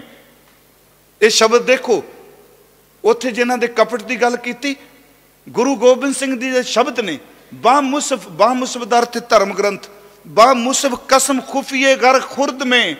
ਔਰੰਗਜ਼ੇਬ ਮੈਂ ਫੁਰਨੇ ਦੇ ਤੌਰ ਤੇ ਵੀ ਜੇ ਧਰਮ ਗ੍ਰੰਥ ਦੀ ਸੌਂ ਖਾਂਦੀ ਹੁੰਦੀ, ਨਾ ਯਕ ਗਾਮ ਹਮ ਪੇਸ਼ ਅਜ਼ਾ ਬੁਰਦ ਮੇ, ਮੈਂ ਇੱਕ ਕਦਮ ਵੀ ਕਸਮ ਤੋਂ ਪਿਛਾਂ ਹਟ ਜਾਂਦਾ, ਮੈਂ ਰੱਬ ਦਾ ਦੇਨਦਾਰ ਹੁੰਦਾ। ਤੁਸੀਂ ਝੂਠੇ ਸੋ। ਤਾਂ ਹੀ ਕਿਹਾ ਕਿ ਪੇਮਾਸ਼ਕਨ ਬੇਦਰੰਗ ਆਮਦੰਦ, ਮੈਂ ਤੀਰੋ ਤੁਫੰਗ ਆਮਦੰਦ। ਤਾਂ ਕਿ ਹਮੂ ਮਰਦ ਬਾਇਦ ਸ਼ਵਦ ਸੁਖਨਵਰ, ਨਾ ਸ਼ਿਕਮੇ ਦਿਗਰ ਦਰ ਦਹਾਨੇ, ਦਿਗਰ ਤੈਨੂੰ ਤਾਂ ਮਰਦ ਕਹਾਣ ਦਾ ਹੱਕ ਨਹੀਂ। ਤੁਹਾਡੇ ਢਿੱਡ ਵਿੱਚ ਕੋਈ ਸੀ, ਤੁਹਾਡੇ ਮੂੰਹ ਤੇ ਕੋਈ ਸੀ। ਇੱਕ ਸ਼ੇਰ ਹੈ, ਨਾ ਇਮਾਮ ਪ੍ਰਸਤੀ ਔਰੰਗਜ਼ੇਬ ਲਈ, ਨਾ ਉਜ਼ਾਏ ਦੀ ਤੂੰ ਇਮਾਨ ਪ੍ਰਸਤ ਨਹੀਂ, ਨਾ ਇਮਾਏ ਪ੍ਰਸਤੀ, ਨਾ ਉਜ਼ਾਏ ਦੀ ਨਾ ਸਹਿਬ ਸ਼ਨਾਸੀ, ਨਾ ਮੁਹੰਮਦ ਯਕੀ। ਮਹਾਰਾਜ ਜੀ ਨੇ ਆ ਛੇ ਪੋ ਦੀ ਰਾਤ, ਚਲੋ, ਮੈਂ ਕੋਈ ਨਵੀਂ ਗੱਲ ਨਹੀਂ ਕਰਾਂਗਾ, ਮੈਂ ਕੱਲ ਵੀ ਚਾਵਲਾ ਸਾਹਿਬ ਘਰ ਬੈਠੇ, ਡੇਢ ਪੈਰ ਰਾਤ ਗਈ ਕਿਆ ਹੈ? ਰਹੀ ਨਹੀਂ, ਪਰ ਇਸ ਮਸਲੇ 'ਚ ਨਹੀਂ ਪੈਣਾ ਵੀ ਦੁਪਹਿਰ, ਅੱਧੀ ਰਾਤ ਤੋਂ ਬਾਅਦ ਕਿਉਂ? ਕਿਉਂਕਿ ਕੋਈ ਗੱਲਾਂ ਝਗੜੇ ਵਾਲੀਆਂ ਨਹੀਂ ਹੁੰਦੀਆਂ। ਤੇ ਜਿਹੜੀਆਂ ਆਪਾਂ ਪ੍ਰਚਾਰਕਾਂ ਨੇ, ਆ ਬੀਬੀਆਂ ਵਾਲੀਆਂ ਲੜਾਈਆਂ ਸ਼ੁਰੂ ਕਰ ਮੈਂ ਇਹ ਚੇਤੇ ਰੱਖੋ, ਬਹੁਤ ਨੁਕਸਾਨਦਾਈ ਨੇ। ਮੈਂ ਤੇਰਾ ਠੋਕ ਕੇ ਜਵਾਬ ਦੇਵਾਂਗਾ ਤੂੰ ਮੇਰਾ ਠੋਕ ਕੇ ਜਵਾਬ ਦੇਈ। ਉਹ ਗੁਰਸਿੱਖੋ, ਜਿਹਦਾ ਅੰਦਰ ਸ਼ਬਦ ਨਾਲ ਭਿੱਜ ਜਾਏ, ਉਹ ਕਿਸੇ ਨੂੰ ਮਾੜਾ ਨਹੀਂ ਕਹਿੰਦਾ, ਉਹ ਆਪਣੇ ਗਿਰਵਾਨ ਚ ਝਾਤੀ ਮਾਰ ਲੱਗ ਪੈਂਦਾ ਹੈ। ਮਹਾਰਾਜ ਸੱਚੇ ਪਾਤਸ਼ਾਹ ਜੀ ਨੇ ਫੈਸਲਾ ਕੀਤਾ ਆਨੰਦਪੁਰ ਸਾਹਿਬ ਛੱਡਣਾ ਹੈ। ਤਵਾਰੀਖੀ ਗ੍ਰੰਥ ਕਹਿੰਦੇ ਆ ਕਿ ਮਾਤਾ ਜੀ ਨੂੰ ਪਹਿਲਾਂ ਤੋਰਿਆ। ਮਾਤਾ ਗੁਜਰੀ ਜੀ, ਸਹਿਬਜ਼ਾਦੇ, ਪਰ ਜੋ ਸਾਡੀ ਕਮੇਟੀ ਜਾਂ ਜੋ ਸਾਡੇ ਲਿਖਿਆ ਹੈ ਕਿ ਸਤਗੁਰਾਂ ਨੇ 6 ਪੋ ਦਾ ਸਾਰਾ ਦਿਨ ਤਿਆਰੀ ਹੁੰਦੀ ਰਹੀ। ਸਾੜ ਦਿੱਤੇ ਉਹ ਕਾਬਲ ਤੋਂ ਆਏ ਹੋਏ ਤੁੰਬੂ ਜਿਹੜੇ ਬਹੁਤ ਕੀਮਤੀ ਸਨ। ਧਨ ਦੌਲਤ ਸਟਵਾ ਦਿੱਤਾ।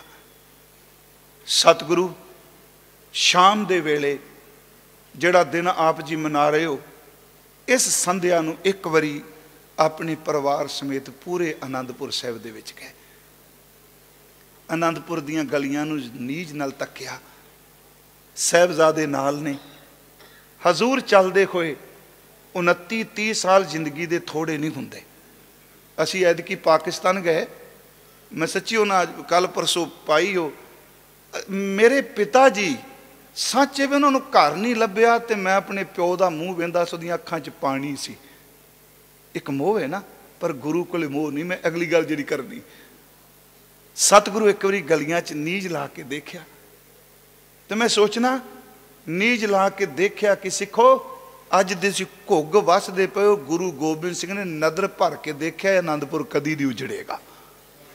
ਇਹ ਬਖਸ਼ਿਸ਼ ਦਿੱਤੀ ਉਦੋਂ ਮਹਾਰਾਜ ਆਪਣੇ ਸਹਿਬਜ਼ਾਦੇ ਆਪਣੇ ਪਰਿਵਾਰ ਨੂੰ ਨਾਲ ਲੈ ਕੇ ਉਸ ਜਗ੍ਹਾ ਤੇ ਗਏ ਜਿੱਥੇ ਗੁਰਦੁਆਰਾ ਸ਼ੀਸ਼ ਗੰਜ ਹੈ ਗੁਰਪੁਰ ਵਾਸੀ ਸਾਡੇ ਅਤੀ ਸਨਮਾਨਯੋਗ ਸਿੰਘ ਸਾਹਿਬ ਗਿਆਨੀ ਤਰਲੋਚਨ ਸਿੰਘ ਜੀ, ਸਿੰਘ ਸਾਹਿਬ ਗਿਆਨੀ ਮਾਲ ਸਿੰਘ ਜੀ ਹੁਣੀ।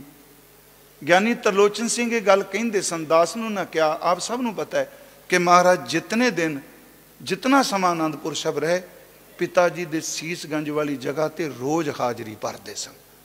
ਮੈਂ ਇਹ ਕੱਲ ਗੱਲ ਉੱਥੇ ਵੀ ਕਿ ਡਾਕਟਰ ਸਾਹਿਬ, ਮੈਂ ਕਹਿੰਨਾ ਸਿੱਖ ਪ੍ਰਚਾਰਕੋ, ਜਿੱਥੇ ਗੁਰੂ ਦਾ ਖੂਨ ਡੁੱਲਿਆ ਉਹਨਾਂ ਥਾਵਾਂ ਨੂੰ ਕਬਰਾਂ ਦੀ ਥੱਲਾ ਨੀਵੇਂ ਨਾ ਲਿਆਓ।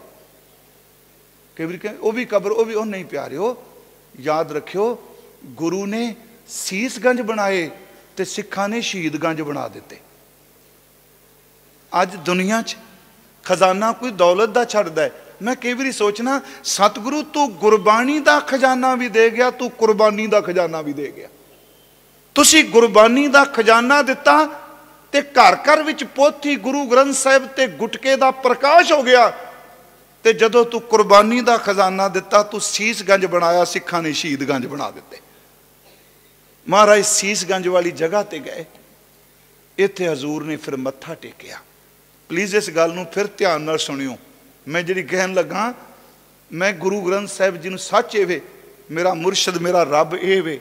ਪਰ ਜੋ ਮੈਂ ਇਸ ਗੁਰੂ ਨੂੰ ਮੰਨਣਾ ਉਹਦੀ ਗੱਲ ਤਾਂ ਮੰਨਣਾ ਉਹ ਗੁਰੂ ਕਹਿੰਦਾ ਹੈ, ਜਿੱਥੇ ਤੇਰਾ ਗੁਰੂ ਸਰੀਰਕ ਤੌਰ ਤੇ ਵੀ ਆਪਣੀਆਂ ਪੈੜਾਂ ਛੱਡ ਜਾ ਤੂੰ ਧੂੜ ਵੀ ਮੱਥੇ ਤੇ ਜ਼ਰੂਰ ਲਾਣੀ ਹੈ। ਮਾਰੇ ਸੱਚੇ ਪਾਤਸ਼ਾਹ ਉੱਥੇ ਗਏ। ਸ਼ੀਸ਼ਗੰਜ ਵਾਲੀ ਜਗ੍ਹਾ ਤੇ ਨਤਮਸਤਕ ਹੋਏ। ਤੁਹਾਨੂੰ ਸਭ ਨੂੰ ਪਤਾ ਤੁਰ ਲੱਗੇ ਹਾਂ।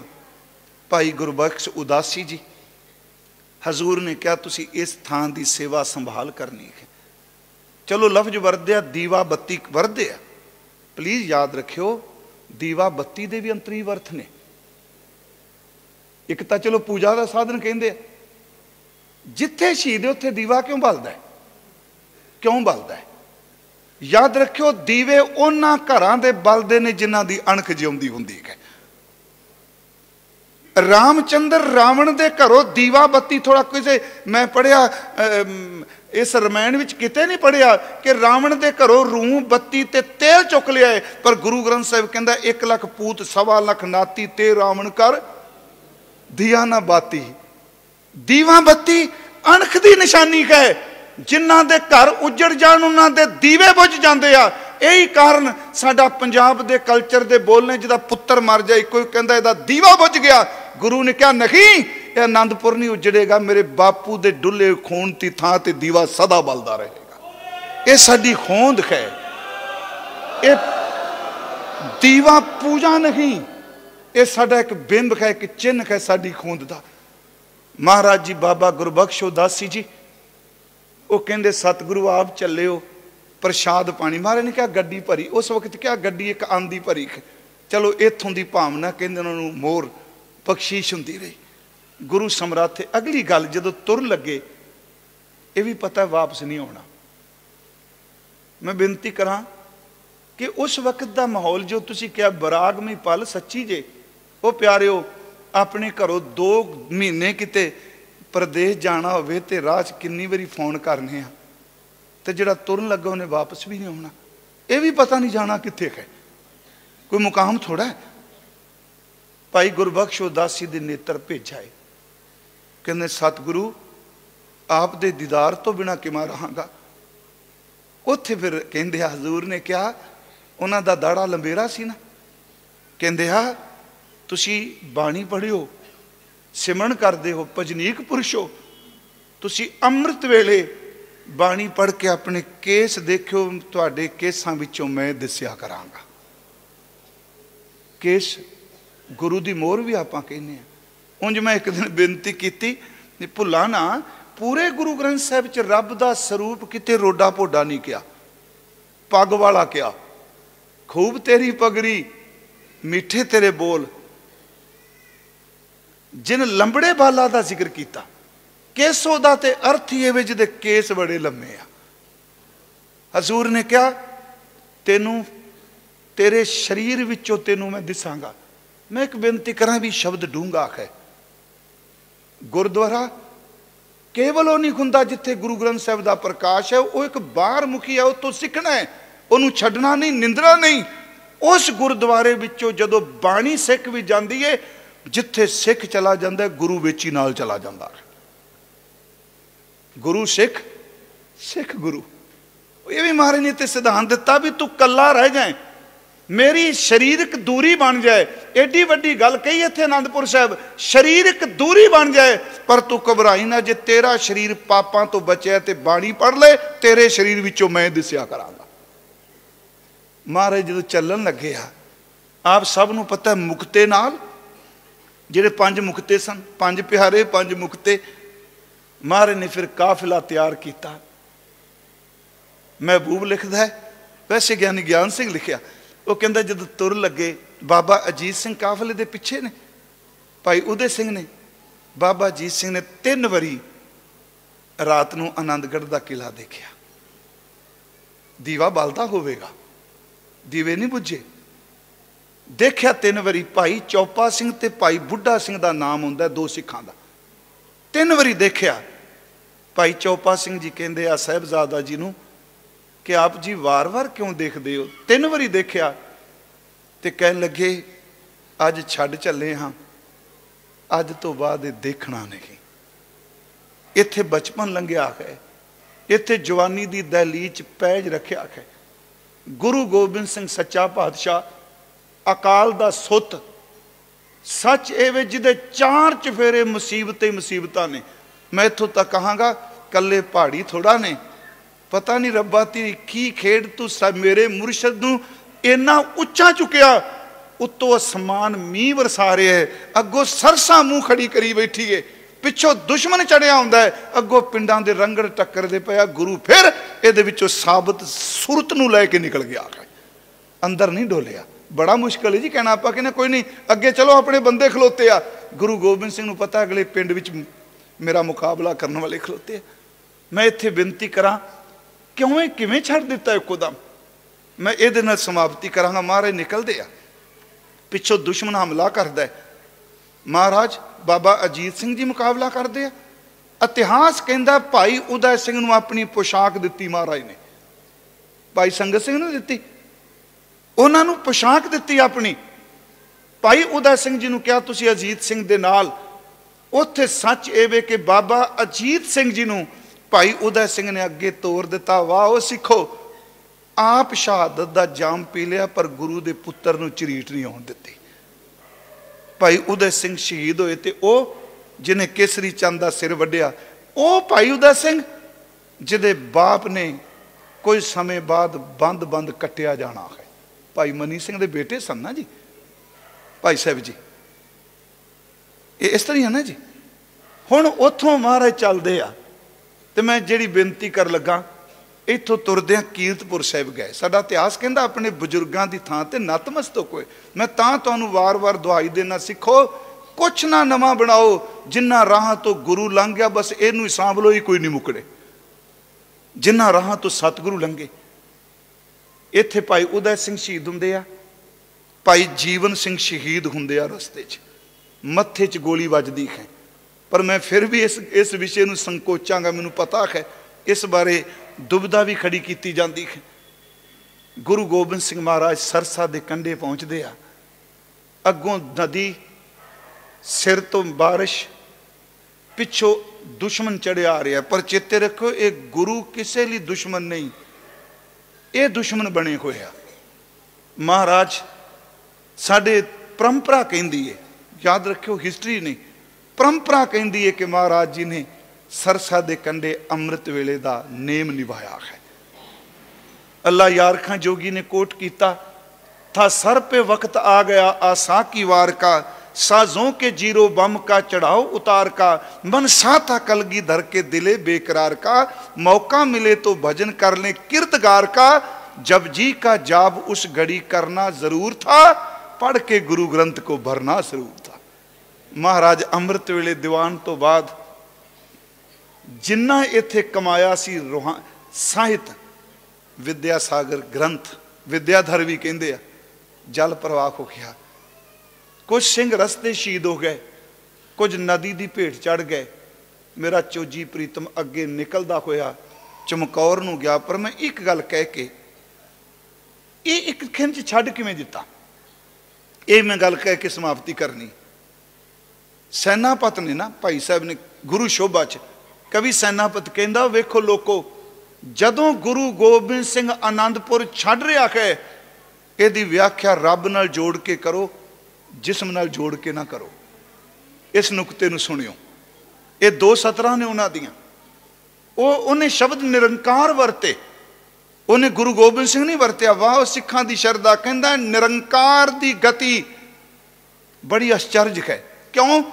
ਕਹਿੰਦਾ ਨਿਰੰਕਾਰ ਆਪਣੀ ਮੌਜ ਵਿੱਚ ਆਉਂਦਾ ਹੈ ਤੇ ਉਹ ਕਰੋੜਾਂ ਬ੍ਰਹਿਮੰਡਾਂ ਖੰਡਾਂ ਨੂੰ ਇੱਕ ਸ਼ਬਦ ਵਿੱਚ ਪੈਦਾ ਕਰ ਦਿੰਦਾ ਹੈ।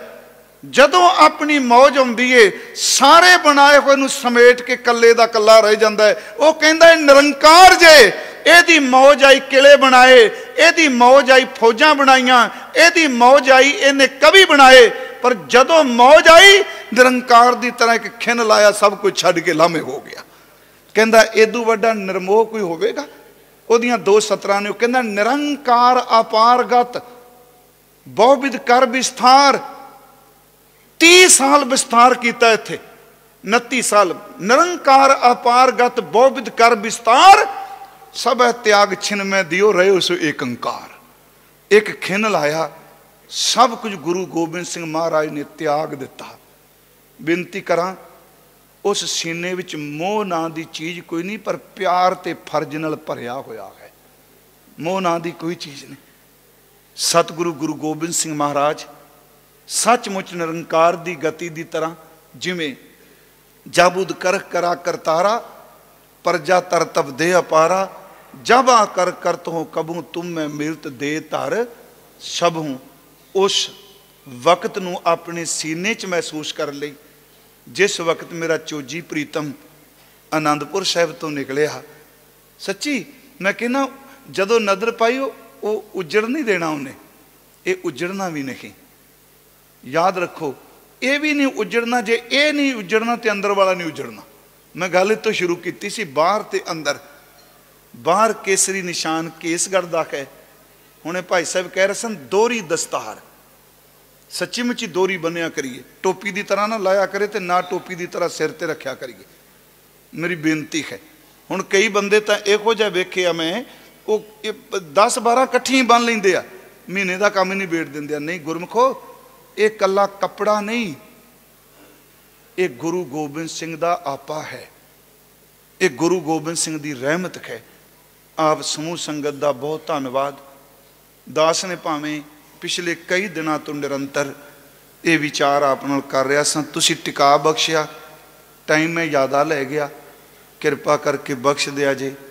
ਤੇ ਅਗਲੀ ਬੇਨਤੀ ਭਾਈ, ਇੱਥੇ ਤੱਕ ਸਾਹਿਬ ਤੇ ਹਫ਼ਤੇ ਦੋ ਵਾਰੀ ਹੁੰਦਾ ਅੰਮ੍ਰਿਤ ਸੰਚਾਰ? ਐਤਵਾਰ ਤੇ ਬੁੱਧਵਾਰ, ਜਿੱਥੋਂ ਤੱਕ ਮੇਰੀ ਆਵਾਜ਼ ਜਾਰੀ ਹੈ। ਟੀਵੀ ਰਾਹੀਂ ਗੁਰਮਖੋ, ਗੁਰੂ ਗੋਬਿੰਦ ਸਿੰਘ, ਬਹੁਤ ਕੁਝ ਬਖਸ਼ਿਸ਼ ਕਰਕੇ ਗਏ ਇੱਥੇ। ਇੱਥੇ ਸਤਿਗੁਰੂ ਨੇ ਅੰਮ੍ਰਿਤ ਦੀ ਦਾਤ ਦਿੱਤੀ।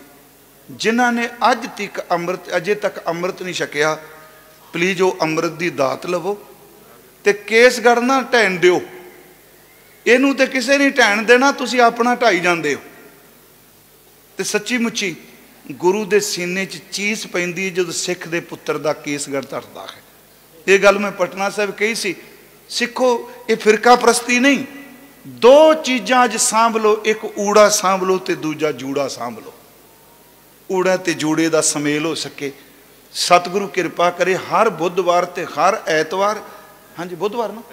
ਐਤਵਾਰ ਤੇ ਬੁੱਧਵਾਰ, ਹਫ਼ਤੇ 'ਚ ਦੋ ਵਾਰੀ ਅੰਮ੍ਰਿਤ ਸੰਚਾਰ ਹੁੰਦਾ ਹੈ। ਗੁਰੂ ਗੋਬਿੰਦ ਸਿੰਘ ਜੀ ਦੀ ਇਸ ਪਾਵਨ ਪਵਿੱਤਰ ਧਰਤੀ ਤੋਂ ਅੰਮ੍ਰਿਤ ਦੀ ਦਾਤ ਲੈ ਕੇ ਗੁਰੂ ਵਾਲੇ ਬਣੀਏ। ਮੇਰੇ ਤੋਂ ਬਹੁਤ ਭੁੱਲਾਂ ਹੋਈਆਂ ਨੇ। ਸਾਧ ਸੰਗਤ ਬਖਸ਼ ਦੇਣਾ। ਵਾਹਿਗੁਰੂ ਜੀ ਕਾ ਖਾਲਸਾ।